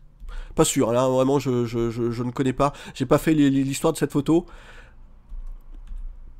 alors, donc c'est Fabre Palapra. Alors, qu'est-ce qu'il faut penser? Est-ce que vraiment cet ordre des Templiers a vécu secrètement euh, pendant des siècles et a ressuscité au 19e siècle? Bon, si on prend le, document que euh, euh, Fabre Palapra a, il a, il a un document, je pense pas que c'est lui qui l'a retrouvé, mais on lui met sous les yeux un document en latin où sont cités tous les, les grands maîtres entre Jacques de Molay et lui. Et parmi ces, euh, grands maîtres, on retrouve des noms euh, que l'on connaît. Hein. Il y a par exemple Bernard du Déclin, du Déclin qui aurait été grand maître. Euh, il y a Philippe d'Orléans, le régent. C'est celui qui va assurer la, régence au temps du, roi lors de la minorité de, de Louis XV. Donc est-ce que ce document est valable? Voilà, bon, ça sent un peu bizarre, parce qu'on sent qu'il y a une, sorte de succession hétéroclite de personnages. Et ce qui est le plus, plus amusant, euh, c'est que le, successeur de Jacques de Molay, dans cette charte, il s'appelle Jean-Marc. Jean-Marc l'Arménus. Alors, un certain Jean-Marc, ça fait pas très médiéval, hein, comme si on disait que qu'un certain euh, Kevin avait combattu aux côtés de, Jeanne d'Arc. Voilà, ça sent le document faux. Euh, voilà, une mystification je ne suis pas sûr en fait que l'ordre du Temple n'a a survécu euh, parce que après la condamnation de Jacques de Molay et tout simplement après le procès, hein, tout simplement parce que l'ordre avait perdu sa mission, il avait perdu ses biens. Donc ça devient difficile de maintenir une société quand vous avez une fraternité, quand vous n'avez plus de biens. Il a perdu sa mission. Hein. sa mission principale, c'était la défense de la Terre Sainte. Donc je, je ne pense pas à une à une, euh, à une survie de l'ordre du Temple après le, après le Moyen Âge. Mais voilà, on peut en débattre, hein, parce que c'est toujours très difficile quand vous avez une société occulte euh, de trouver des preuves de l'existence de cette société. Hein. Mais justement, c'est aussi un argument qui, euh, qui peut être renversé, parce que du coup, si, si, si on peut pas trouver de, preuves, bon, bah, on peut imaginer tous les, plein, plein de sociétés qui ont finalement, survécu, qui ont existé autrefois. Moi je dis, je, ne pense pas que, les, Templiers ont survécu, mais ça a arrangé pas mal de personnes au, 18e et au 19e siècle de s'estimer les héritiers ou les descendants des Templiers. Parce que quand vous vous, euh, vous, euh, vous, situez dans la filiation des Templiers, vous récupérez tout un, tout un imaginaire, notamment un imaginaire de, euh, un imaginaire de, mystère, un, imaginaire de secret. On imagine par exemple des rites, des rites d'entrée, on, vous héritez aussi d'un, d'une hiérarchie euh, de grades. Donc les commandeurs, les, euh, des commandeurs, des... Euh, peut-être pas des précepteurs, des grands maîtres, des maîtres. Et donc les nouveaux Templiers, les néo-Templiers, vont reprendre certains, certains éléments de, de l'ordre du Temple pour, leur pour donner à ces, à ces nouvelles sociétés une sorte de prestige, un, aura, de, un aura de mystère. Et c'est pour ça que euh, parmi les francs-maçons, hein, ça me permet de revenir sur euh, ce que disait Wolverine, hein, certains francs-maçons vont s'estimer les descendants de, euh, des, Templiers. Bien que les historiens des francs-maçons rejettent complètement le fait d'être que la franc-maçonnerie est héritière des Templiers. Alors donc il y a KV qui me dit que jaune, rouge, noir, ça serait en rapport avec l'Allemagne. Ah d'accord, ok, possible, ok. Oui, puisque ce, groupe, euh, lorsque m'a expliqué Alain, euh, ce groupe de Templiers là qui était, euh, qui était à Paris, c'était vraiment un groupe international, il y avait des représentants de chaque pays. Donc ouais, je suis peut-être, en effet. Alors, KV, oui j'ai peut-être fait une erreur, j'ai peut-être dit Bernard Duguesclin, non non c'est Bertrand Duguesclin tout à fait. Euh, est-ce que, euh, euh, est-ce que la première mission des chevaliers était de former un corridor pour protéger les, pèlerins? C'est une remarque de Philippe. Oui, oui, oui, probablement. Hein. ils étaient là pour escorter les pèlerins en Terre Sainte, à l'origine, tout à fait. Ileana me dit, est-ce que l'ordre du Temple avait des propriétés au Moyen-Orient? Aussi Oui, tout à fait, ils avaient des propriétés au Moyen-Orient, ils avaient notamment des châteaux. Alors, ils ont pu faire survivre localement. Alors, ouais, c'est une bonne, une bonne remarque. Là, dans, dans, en, Terre Sainte, clairement, c'est l'ordre du temps, c'est l'ordre des hospitaliers hein, qui prend le relais. Donc, par exemple, les forteresses sont abandonnées aux hospitaliers. Donc Guillaume qui me dit voilà combien de néo-templiers se désignent comme turcopoles. Hein. Là vous, vous m'emmenez là sur un autre sujet. Voilà les turcopoles. Donc turcopoles, je précise quand même qu'est-ce que c'est les turcopoles. Hein. C'est une c'est une catégorie des, euh, de, combattants euh, qui, euh, qui combattaient à la mode des Turcs. C'est-à-dire ils combattaient du côté chrétien, hein, bien entendu, à cheval et avec des, des arcs. Et il y avait un dignitaire des Templiers qui commandait justement ce contingent de Turcopole. Voilà, il, s'appelait, je crois, le Turco, Turcopolier, je crois. Mais bon, vous me confirmerez ça aussi dans le, dans le chat. Alors, Bernard me dit, il y a un haut grade chez les francs-maçons qui est Templier. Euh, pro, alors je sais pas si c'est, je pense que c'est une, une remarque. Euh, oui, oui, alors, les, les grades, hein, de, vous avez tellement de groupes de francs-maçons, c'est tellement varié. Donc vous avez des, euh, comme je disais tout à l'heure, hein, vous avez des, euh, des, groupes de francs-maçons qui vont reprendre les, les rangs dignitaires de, des Templiers. Mais en général, non, hein, les, les Templiers, vous savez, les trois grades, c'est euh, compagnons, apprentis et, maîtres, je crois. Oui, ça va être ça, maître et maître, c'est ça. Donc maître, oui, il y a, des maîtres chez les Templiers. Donc vous allez me dire, oui, il y a un point commun, mais maître, vous trouvez ça dans d'autres ordres. Euh, donc, euh, Marianne me dit dans quelle loge se grade? Non, je vais pas vous préciser. Je, ne vais pas vous dire laquelle loge. Peut-on estimer le nombre de Templiers ou de commanderies? Alors, je l'ai un petit peu dit hein, tout à l'heure, le, nombre de Templiers, on est, ça dépasse le millier, c'est sûr. Voilà, on peut pas être plus précis. Moi, je pense pas qu'on puisse être plus précis. Le nombre de commanderies, alors là, hein, c'est débattu. Oh, que c'est débattu. Euh, il y a, un, historien britannique, plutôt, hein, je vais plutôt l'appeler le chroniqueur euh, du XIIIe siècle, qui s'appelle Mathieu Paris, qui estime qu'il y a 900 maisons de Templiers. Le chiffre me semble, euh, exagéré. on est plus sur, à travers le monde, on est plutôt là aussi sur une centaine. Alors, ne pas parler dans la bouteille, Marc me dit, oui, désolé. Alors, question de euh, bon revoir Théophanie, est-ce que les Templiers connaissaient les terrains ayant un courant tellurique puissant? Je ne sais pas du tout, et je pense qu'on n'a trouvé aucun document qui puisse l'attester. Euh, donc Bernard me dit sûrement la loge. Euh, donc je pense c'est la grande loge peut-être que Bernard veut dire. Donc la GLNF, la loge où il y a peut-être des, où on trouve peut-être ce grade. C'est peut-être ça. Donc Bernard précisera. Alors, donc je reviens sur, les, euh, sur la postérité des Templiers. Alors pour vous dire vraiment que les Templiers, ça, ça, ça les, les, sociétés se sont multipliées. Vous avez notamment euh, l'IOGT, alors là on est aux États-Unis. Vous avez un groupe de, Templiers, une société de Templiers. Alors ça va dire, euh, j'ai oublié, je crois que c'est International Organization euh, Good Templiar, donc l'organisation internationale des bons Templiers. Donc fondé, en 1851, et en 1851, et donc euh, ces bons templiers, qu'est-ce qu'ils ont comme mission? Qu'est-ce qu'ils s'assignent comme mission? Là, vous avez un, diplôme de membre, et ils s'assignent comme mission de lutter contre l'alcoolisme. Alors pourquoi? Euh, Probablement parce que les, templiers ont encore cette euh, image de vertu, une vertu, vertu d'être, d'être, je l'ai dit, ils ne jouaient pas au dé, ne jouaient pas au ne pas aux cartes, ils ne se perdaient pas dans les mondanités. Ils ont une image de modération, euh, de tempérance. Euh, et donc cette société a récupéré cette image des Templiers pour refonder une société avec leur nom. Alors, euh, Philippe me dit, la croix de Jérusalem, symbole des différents ordres unifiés de l'époque.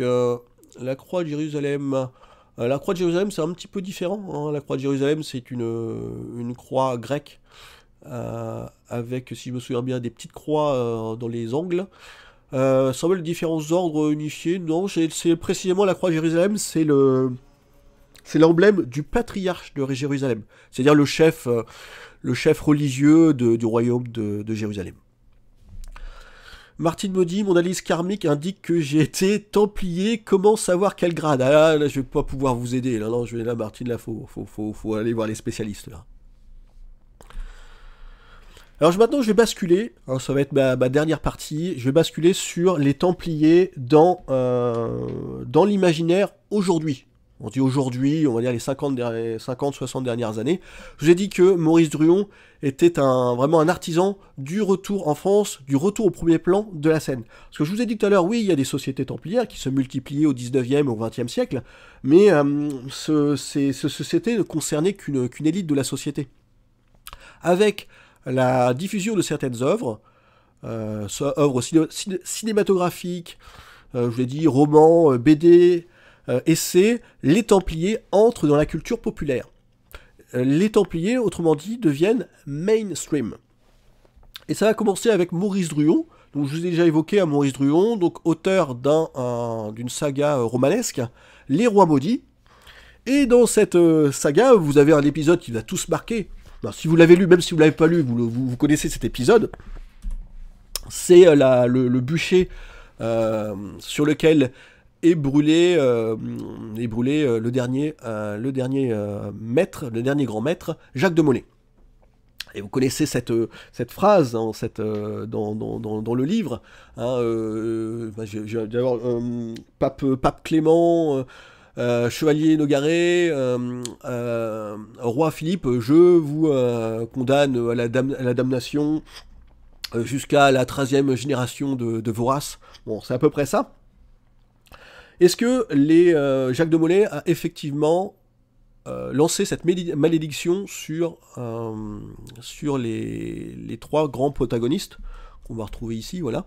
Vous avez Philippe Lebel ici, hein. c'est un, extrait du jeu Assassin's Creed. Est-ce qu'il a lancé cette malédiction, Jacques de Molay?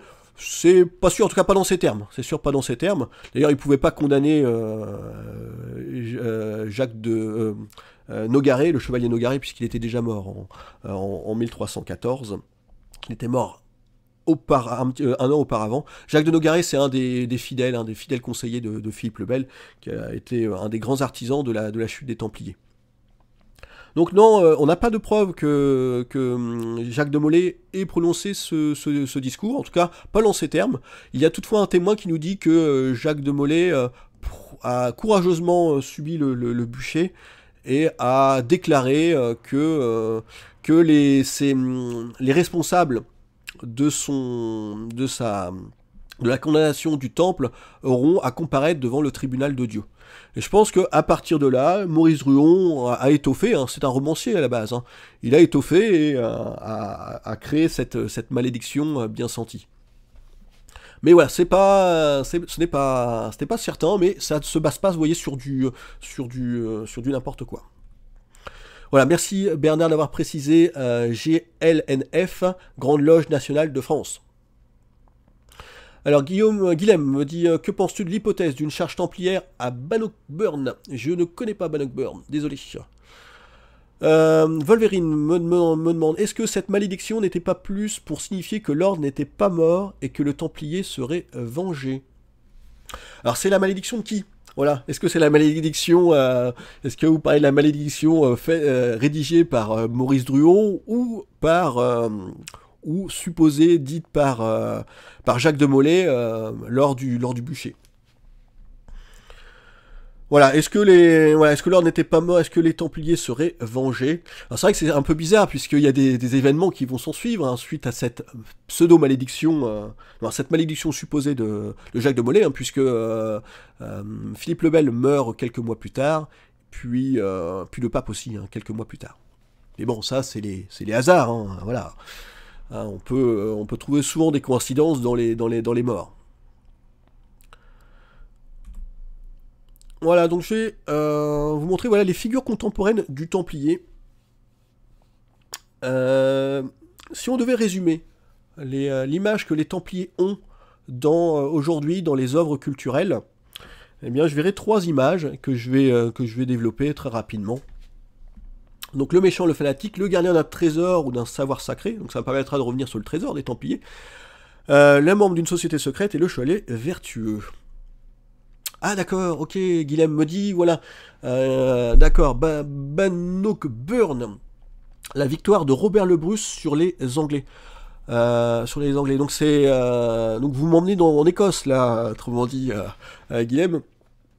Donc est-ce que les Templiers, autrement dit, ont participé à Bannockburn Alors les Templiers, j'ai découvert ça il y a quelques...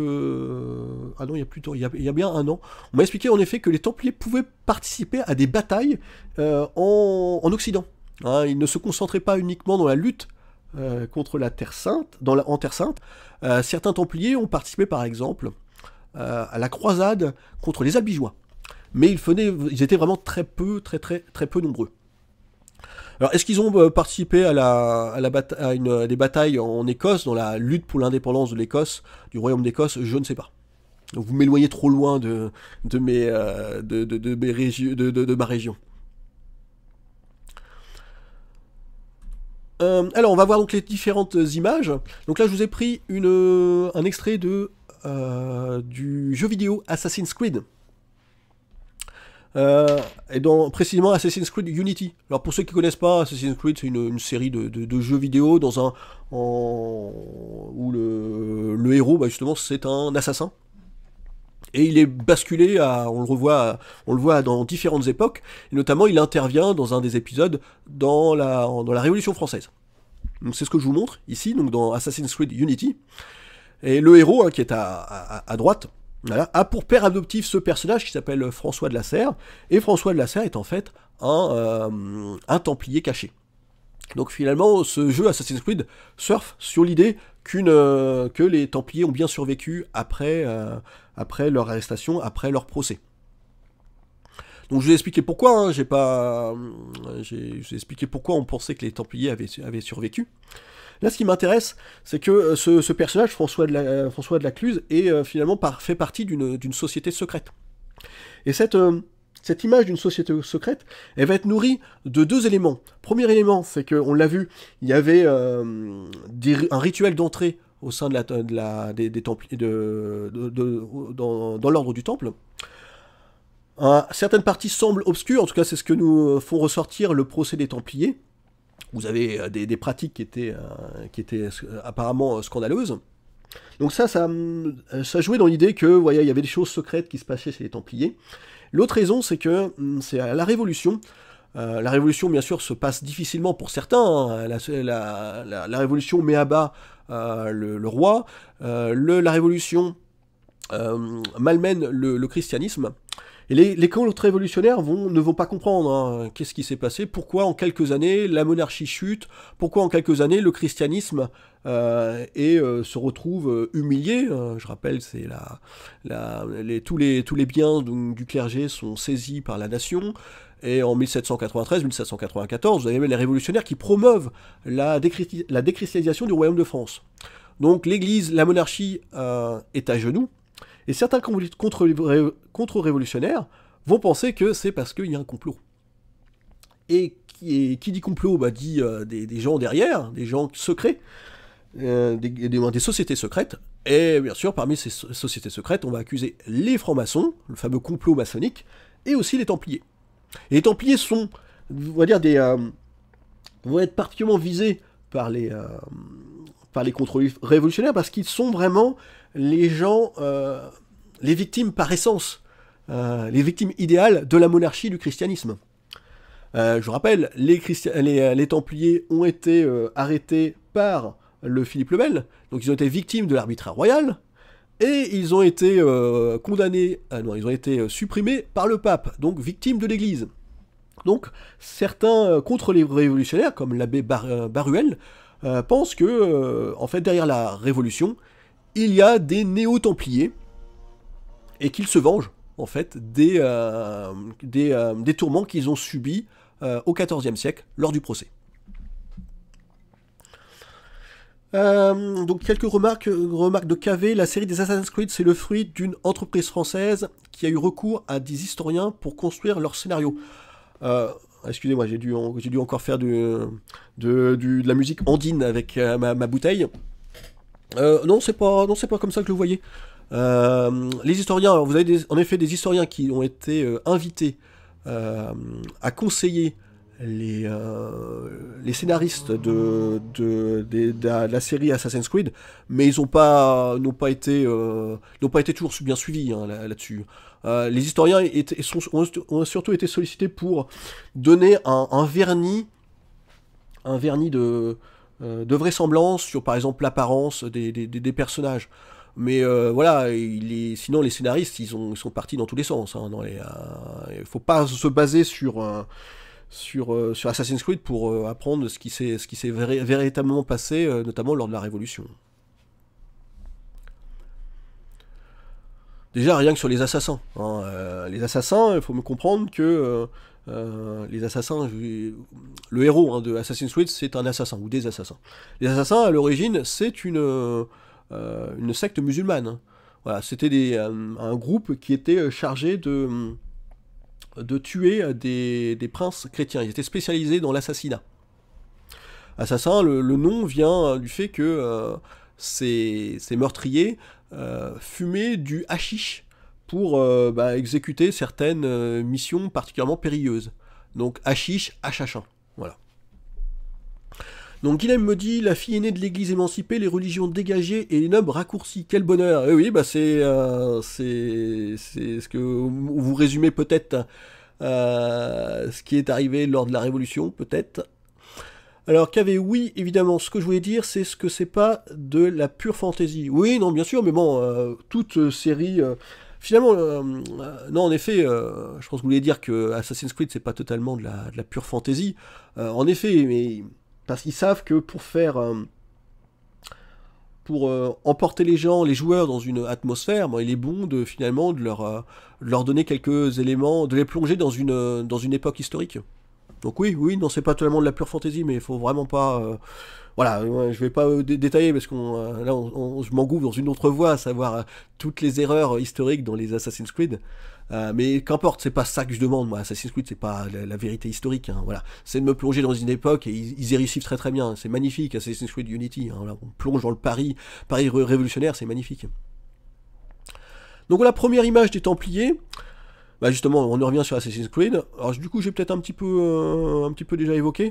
Dans Assassin's Creed, les Templiers sont évoqués, hein, notamment au début d'Assassin's Creed Unity.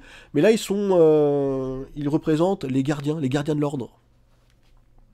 C'est euh, une des images des Templiers. Pourquoi les gardiens de l'ordre? Eh ben, les Templiers étaient vus comme, je l'ai dit, hein, comme un, un, ordre qui discipliné, un ordre vertueux, un ordre aussi fanatique pour les adversaires des Templiers, euh, euh, euh, les, Templiers sont des fanatiques. Voilà, Gérard de Sède publie dans les années 60 Les Templiers sont parmi nous. je pense que vous connaissez, moi peut-être vous connaissez, oui, bon, j'en sais rien, si vous connaissez. Donc lui, il est vraiment, Gérard de Sède, il est à l'origine de cette idée du trésor des Templiers. Hein. Donc c'est une idée qui est vraiment finalement assez récente, hein, années 60. Il a il a, euh, il a entendu en fait les confessions d'un jardinier, d'un jardinier gardien du château de, euh, Giseur. Euh, il a entendu son, ce, ce gardien dire que sous le, donjon se trouve une chapelle et dans cette chapelle se trouvent des coffres, les coffres qui rassemblent le trésor des Templiers.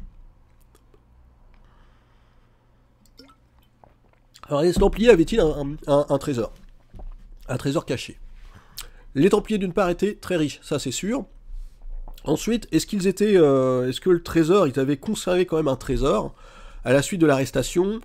Bon, là on, en débattra, on en débattra. Euh, on n'en sait pas grand-chose. Il le, faut prendre conscience que le trésor des Templiers se trouve surtout sur l'île de Chypre, puisque Chypre était devenu le quartier général euh, des, Templiers. Euh, donc quand Philippe le Bel arrête les Templiers, il ne met pas vraiment la main sur le trésor principal des Templiers. Il met euh, la main sur le trésor de la commanderie du, temple, alors qui était la, commanderie la plus importante, qui rassemblait euh, en partie les revenus dégagés par les autres commanderies. Donc cette, euh, cette, euh, il y avait sûrement quand même un trésor assez important à, Paris. Mais voilà, une fois qu'il arrête les, Templiers, Philippe le Bel se trouve en possession du trésor. Il l'a sûrement récupéré. Hein. donc ça devient, c'est peu probable que les Templiers, que, le, que le, trésor ait survécu. Alors certains diront, oui, mais vous oubliez que certains Templiers ont été au courant euh, de leur arrestation et que certains sont partis avant, l'arrestation, donc avant le fameux 13 octobre. Et en effet, vous avez un témoignage, juste un témoignage, qui dit que euh, des euh, charrettes seraient parties du temple la veille de l'arrestation. Alors après, euh, cette déclaration a, fait naître plein de fantasmes. Voilà, euh, que ces charrettes en fait étaient euh, recouvertes de paille, que cette charrette était particulièrement lourde parce qu'elle était des témoins. Mais ça, c'est pas des témoignages d'époque, hein, c'est des, des, des, affabulations, des créations récentes. Ils disent voilà, cette charrette était particulièrement lourde hein, puisque les roues les roues laissaient des traces dans le sol. Et de là est venu un, imaginaire, ben en fait, dans ces charrettes, il y avait le, il y avait le, trésor. Et que ce trésor, que ces charrettes se sont dirigées vers Gisors, et que à Gisors, le, le, trésor a été enterré. Bon, le problème à Gisors, euh, pourquoi ça aurait été une, erreur pour les Templiers de se réfugier à Gisors, puisque Gisors, c'était une place forte royale. Donc on se jetait, les Templiers allaient se jeter dans la gueule du loup. Bon, voilà, je, je, cette, en tout cas, cette histoire de, du, du trésor des Templiers ne tient pas beaucoup, d'autant que, bon, moi je suis un petit peu habitué à, la, à faire des, des, recherches en, histoire du Moyen-Âge, et euh, ces histoires de, trésors, vous les trouvez un peu partout. Vous les trouvez toujours dans des groupes qui ont euh, dû être euh, décapités, qui ont, dû partir précipitamment. Hein. Je travaille notamment sur l'histoire d'une abbaye, vous avez aussi une histoire de, trésors. à partir du moment où vous avez un groupe qu'on sait riche, qu'on suppose riche, voilà, et que ce groupe est obligé de partir en catastrophe ou il est arrêté brusquement, on imagine toujours un trésor. Mais le, s'il y a un trésor, celui qui récupère le trésor, c'est toujours celui qui arrête le, le, qui arrête les, euh, ce, groupe, ce, groupe. Voilà. Alors, euh, donc j'ai pas mal de remarques. Hein. Euh, je vais essayer de les reprendre, de reprendre tout. Voilà, donc Martin Ok, mais qui me remercie, bah, c'est gentil. Euh, alors, Mireille qui me dit en fait, il reste toujours une part de mystère, de questionnement quant à la fin probable ou supposée des Templiers. Oui, assez, même si les historiens. Euh, là, c'est mon opinion personnelle. Euh, oui, pour moi, quand même, tout n'est pas clair. Mais les historiens comme Alain de Murger, comme Xavier Hilary, comme Philippe Josserand pensent que c'est quand même assez clair. Euh, ensuite, euh,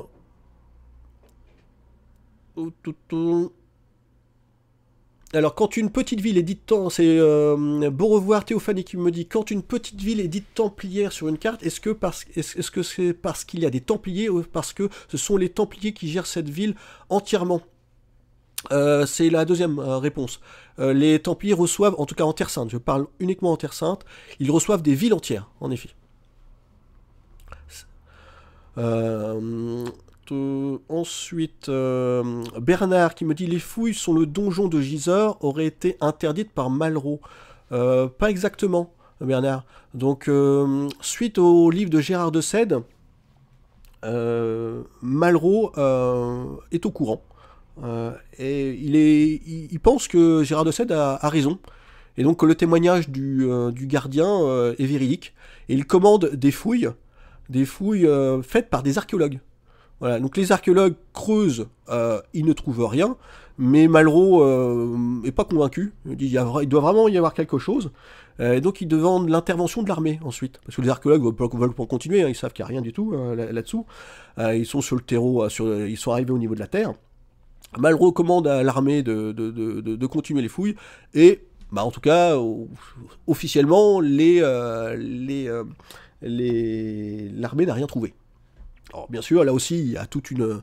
Euh, comment dire, des, fantasmes qui ont nourri hein, cette explication, dire ouais, est-ce que vraiment euh, l'armée n'a rien trouvé, est-ce que finalement peut-être que le, le, un trésor a bien été trouvé?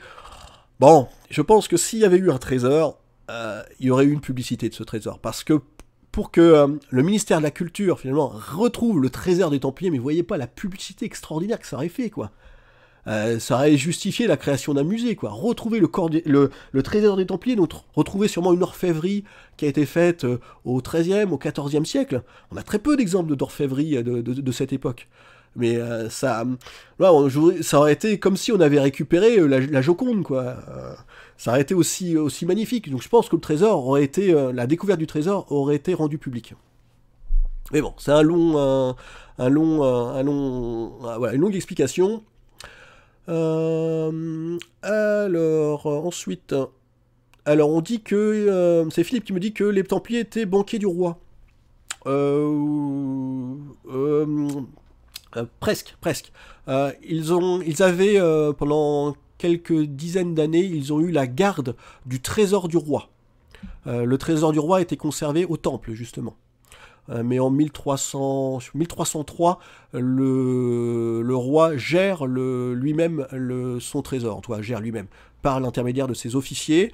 Euh, les Templiers avaient quand même une fonction de banquier, puisqu'ils ils, acceptaient de recevoir les dons de particuliers, les dépôts de particuliers. Et ils faisaient des prêts. Euh, ensuite, euh, il a surtout effacé ses dettes. Euh, voilà, donc c'est Momo qui me dit que sûrement Philippe le Bel a surtout effacé ses dettes. C'est une, théorie. Est-ce que les, les, le, le, les Templiers avaient prêté de l'argent à Philippe le Bel? Je pense pas qu'on a la preuve. Il pouvait, il pouvait. C'est bon. Je, je vais pas dire non totalement à cette hypothèse.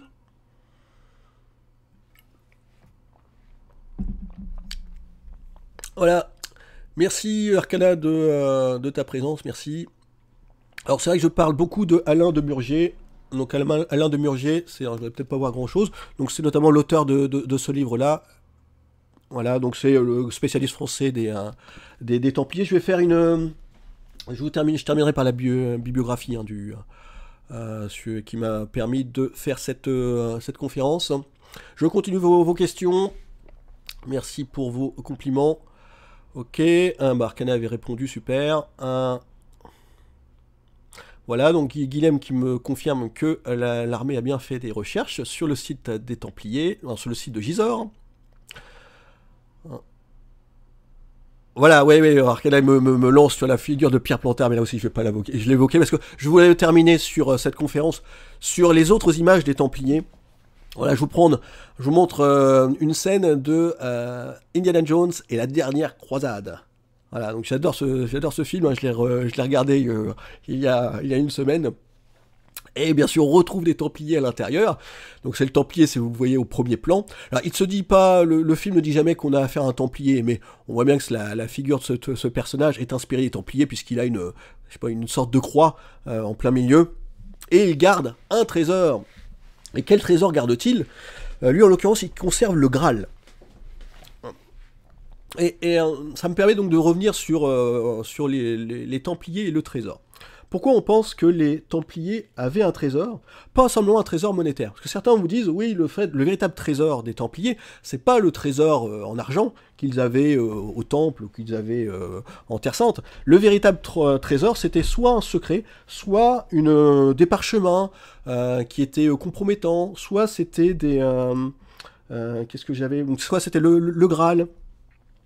D'où vient cette idée? Moi, je pense qu'elle vient du fait que les Templiers se sont installés sur le site du temple de Salomon. Le temple de Salomon, c'est un, lieu réel, mais qui a nourri un fort mythe hein, chez les francs-maçons. Le, temple de Salomon, c'est euh, ou, chez les compagnons aussi, le temple de Salomon, c'est vraiment un lieu emblématique. Et les Templiers, on sait que les Templiers, ils avaient une, donc ils étaient établis dans les ruines supposées du temple de Salomon. Les, euh, Templiers avaient besoin de beaucoup de chevaux. Je vous ai expliqué tout à l'heure, c'était un ordre qui utilisait beaucoup de chevaliers, et euh, les chevaliers avaient besoin chacun de trois chevaux. Et on a construit, les Templiers ont construit sous le temple de formidables écuries. On a vraiment un témoignage qui nous explique que les euh, écuries sous le temple de Salomon étaient gigantesques. Et de là, l'imagination est venue si on a creusé sous le temple de Salomon, on a pu faire peut-être des découvertes. C'est possible, hein, c'est possible. Moi, à mon avis, ils ont surtout trouvé euh, de la terre et, des, pierres, peut-être, ou ils ont peut-être rien. Voilà, ils ont Bon, c'était pas des archéologues, hein, les, Templiers, donc je suis pas sûr qu'ils aient vraiment trouvé des choses, des, choses qui étaient particulièrement secrètes ou incroyables. Mais j'ai pas de preuves pour vous le dire. Je j'étais pas hein, à ce moment-là auprès des Templiers. J'étais pas au moment du, la, du, creusement du, de la de, ces écuries. Mais je veux en tout cas vous expliquer d'où vient cette idée que les Templiers sont gardiens d'un savoir sacré ou d'un objet sacré. D'autant qu'ils étaient en Terre Sainte. Terre Sainte, c'est un milieu euh, qui, euh, qui suscite, qui enflamme l'imagination. On est près de l'Égypte. Euh, les, Templiers, ont ils avaient des contacts avec les musulmans. Euh, ils avaient des contacts avec les locaux. Donc on suppose qu'ils ont été euh, influencés par, les savoirs, les sagesses orientales. Et donc ils étaient détenteurs d'un savoir que les chrétiens d'Occident n'avaient pas. Voilà, je ne vais pas juger si c'est faux, si c'est vrai ou si c'est faux, mais je vous explique d'où vient cette idée de Templiers euh, gardiens d'un savoir ancestral. Voilà, donc j'ai quasiment terminé. Je vais vous terminer. Euh, voilà, je voulais. Voilà, c'est la dernière image que je voulais vous montrer. Les Templiers, vous les retrouvez également dans la sublime euh, saga, série télévisée Game of Thrones. Alors, on ne parle pas de Templiers dans Game of Thrones, mais vous avez des personnages qui ressemblent furieusement aux Templiers, c'est la, la, garde, la garde de la nuit, hein, si je me souviens bien, vous me corrigerez dans, le chat. En fait, la garde de la nuit, c'est ce sont des Templiers. Pourquoi? Parce que euh, qui doit rentrer dans, cet, euh, dans cet ordre de la, garde de la nuit? Bah, Ce sont euh, souvent des cadets de famille qui doivent renoncer à leur richesse, à leur titre, tout le monde est égal et, euh, tous sont égaux euh, parmi, euh, ces, gardiens de la nuit. Ils doivent défendre, alors non pas la, terre contre, les, musulmans, mais ils doivent défendre la terre, les royaumes du sud contre les sauvageons. Ces gardiens de la nuit doivent rester chastes, doivent rester toute leur vie au service au service du mur, de la, défense du mur. Donc ces gardiens de la nuit sont, euh, euh, inspirés de, des, des, des, Templiers. Alors désolé, j'ai un peu de mal là, parce que là je commence vraiment à fatiguer.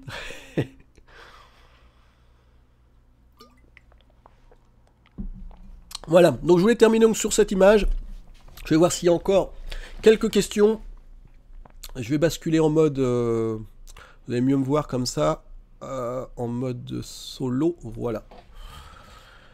Euh, voilà, donc merci, merci pour vos, euh, pour différentes remarques. voilà, oui, vous serez. Michel Mireille me dit voilà, grâce à vous, je ne mourrai pas idiote sur le, sur le, sujet, sur le sujet des Templiers. Hein, il y a beaucoup de choses à dire. N'hésitez pas à intervenir aussi dans les commentaires, même après. bon revoir Théophanie me dit est-ce que les Templiers ont construit des souterrains? Je ne sais pas. Donc je vous parlais des écuries. J'ai fait une vidéo sur les, euh, vous regarderez sur ma chaîne YouTube sur les souterrains euh, des châteaux. Est-ce que c'est vrai ou, pas? Est-ce qu'il y a vraiment des souterrains sous les, châteaux forts? Euh, Est-ce que l'Arche d'Alliance faisait partie de leur trésor? Tout à fait, c'est une, ça fait partie des objets dont on pense que les Templiers étaient gardiens. Mais je le répète, on n'a aucun témoignage d'époque qui nous confirme ça. Hein. Ça fait partie des, euh, des inventions du 19e, du 20e siècle sur qu'est-ce que pourrait être bien ce trésor des Templiers. Euh, je dis 19e, 20e siècle, je devrais un petit peu, un peu corriger. Il y a aussi un, un, courant qui a nourri l'imaginaire au moyen, au moyen Âge même, c'est les romans arthuriens. Euh, je ne vois pas me tromper, c'est bien les, romans arthuriens. oui, c'est ça, les romans arthuriens, c'est ça.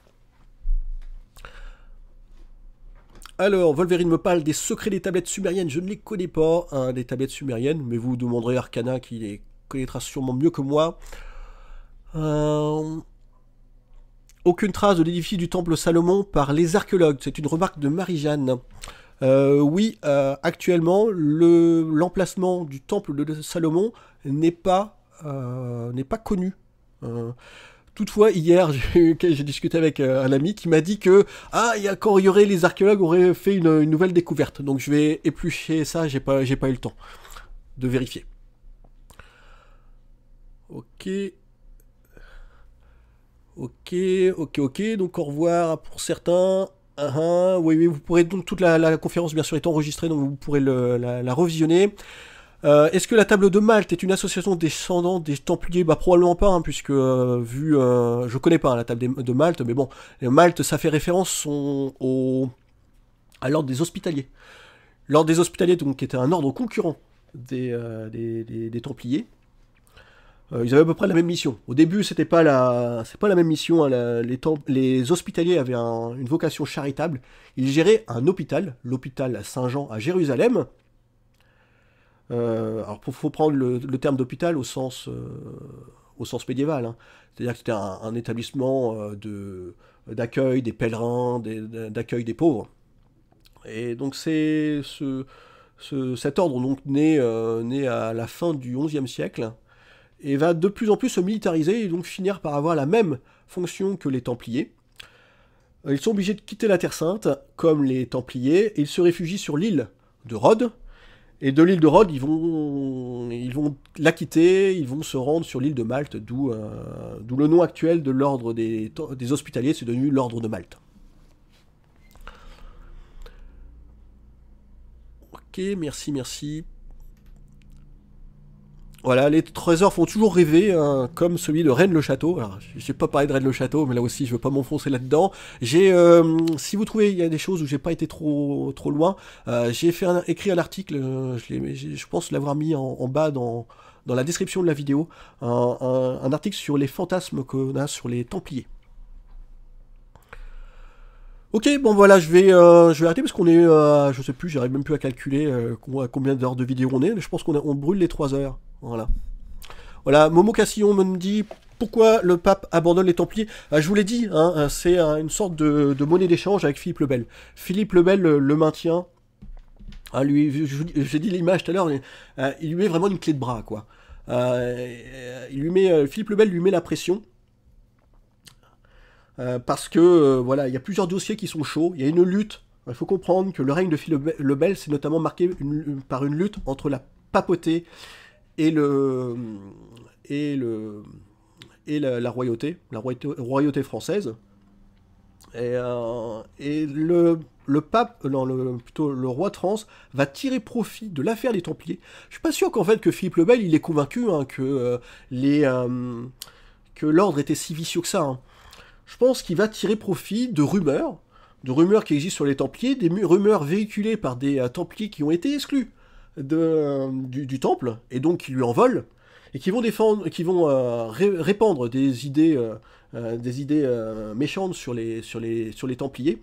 Et Philippe le Bel, bah, attends, il va écouter ça d'une oreille attentive, il va dire ça c'est le moyen que je vais utiliser pour affaiblir le pape. Et il va réussir à l'affaiblir. Le pape va être obligé de faire des concessions. Il, peut... il y a les temps de, temps de, de Templiers ont avoué qu'il peut pas, il peut pas fermer les yeux. Hein. je reprends l'exemple que j'ai évoqué tout à l'heure sur les ministres qui peuvent être euh, accusés dans un gouvernement, euh, même si l'accusation est fausse, le, président est obligé de couper court. Il est obligé de, pousser à la démission son, ministre. Voilà, donc je vous remercie d'avoir eu le courage de, me suivre jusqu'à bah, presque 3 heures. Je remercie hein, de Agapes, la chaîne, de me rappeler que je dois parler de, de la bibliographie parce que alors donc, je vous ai dit Alain, Alain de Murger, donc les Templiers, il en a fait plusieurs, hein, mais celui-ci c'est vraiment le tout dernier. Hein. il y a même une post-phase de 2014. Donc le sous-titre c'est une chevalerie chrétienne au Moyen Âge. Si vous n'avez pas le temps, dites oh là c'est trop lourd comme, euh, comme livre. Voilà, prenez celui-ci qui est beaucoup moins connu, mais je trouve très bien fait. Hein. il est vraiment peu épais. Donc c'est un livre de Xavier Hélary, un grand spécialiste des, armées, euh, des armées chrétiennes, des armées du roi de France. Donc ça s'appelle tout simplement Les Templiers. J'aime beaucoup ce livre parce que je vous dis, il est très synthétique et il n'hésite pas à aborder l'aspect du néo-templarisme, c'est-à-dire les, les, nouveaux Templiers qui émergent à partir du XVIIIe siècle. Et je fais aussi un peu de publicité pour un autre bouquin, alors qui ne parle pas que des Templiers, voilà, celui-ci, c'est le dictionnaire du Moyen Âge imaginaire, donc fait par un trio euh, d'historiens ou de euh, spécialistes de littérature. Donc il y a Anne Besson, il y a William Blanc et il y a Vincent Ferré. Donc vous avez un, autrement dit, c'est la, on va dire la vision du Moyen Âge après le Moyen Âge. Et bien sûr, il y a un article sur les Templiers fait par Philippe Josserand, hein, que je vous conseille aussi de lire, Philippe Josserand. Il a, fait une il a écrit une biographie, je crois, sur, euh, sur Jacques de Molay. En tout cas, il a travaillé, il a, créé il a rédigé un mémoire sur les, sur les Jacques de Molay, en partie, en partie en ligne. Euh, voilà, c'est très bien. Vous, avez un article sur les Templiers, sur les châteaux forts, euh, sur, sais pas, sur Merlin, Merlin l'Enchanteur, sur les romans historiques, sur la BD, sur Umberto Eco, sur Clovis, sur Byzance, sur Arthur, sur les armes. Et donc, en ce livre, vous comprenez comment certains euh, éléments euh, qu'on a sur le Moyen-Âge sont en fait euh, des réinterprétations, des relectures du 19e ou du 20e siècle. Voilà, donc un conseil lecture. Voilà, donc Christian Tredes me dit est-ce que les Templiers sont les inventeurs de la lettre de chance pas exactement, ils sont inventeurs de la lettre de crédit, mais ça vaut, c'est presque pareil. Hein. Ça permet de, récupérer de l'argent dans un autre lieu, donc on n'est pas loin, on n'est pas loin. Voilà, je vous remercie, je vous quitte. Euh, voilà, si vous voulez continuer la discussion, les commentaires vous sont ouverts. Euh, n'hésitez pas aussi à vous abonner à ma newsletter, comme ça, voilà, vous avez une communication plus directe avec moi puisque euh, vous avez accès à mon mail. Voilà, donc je vous dis à bientôt et probablement à dimanche prochain pour euh, une, ma nouvelle newsletter, ma prochaine newsletter.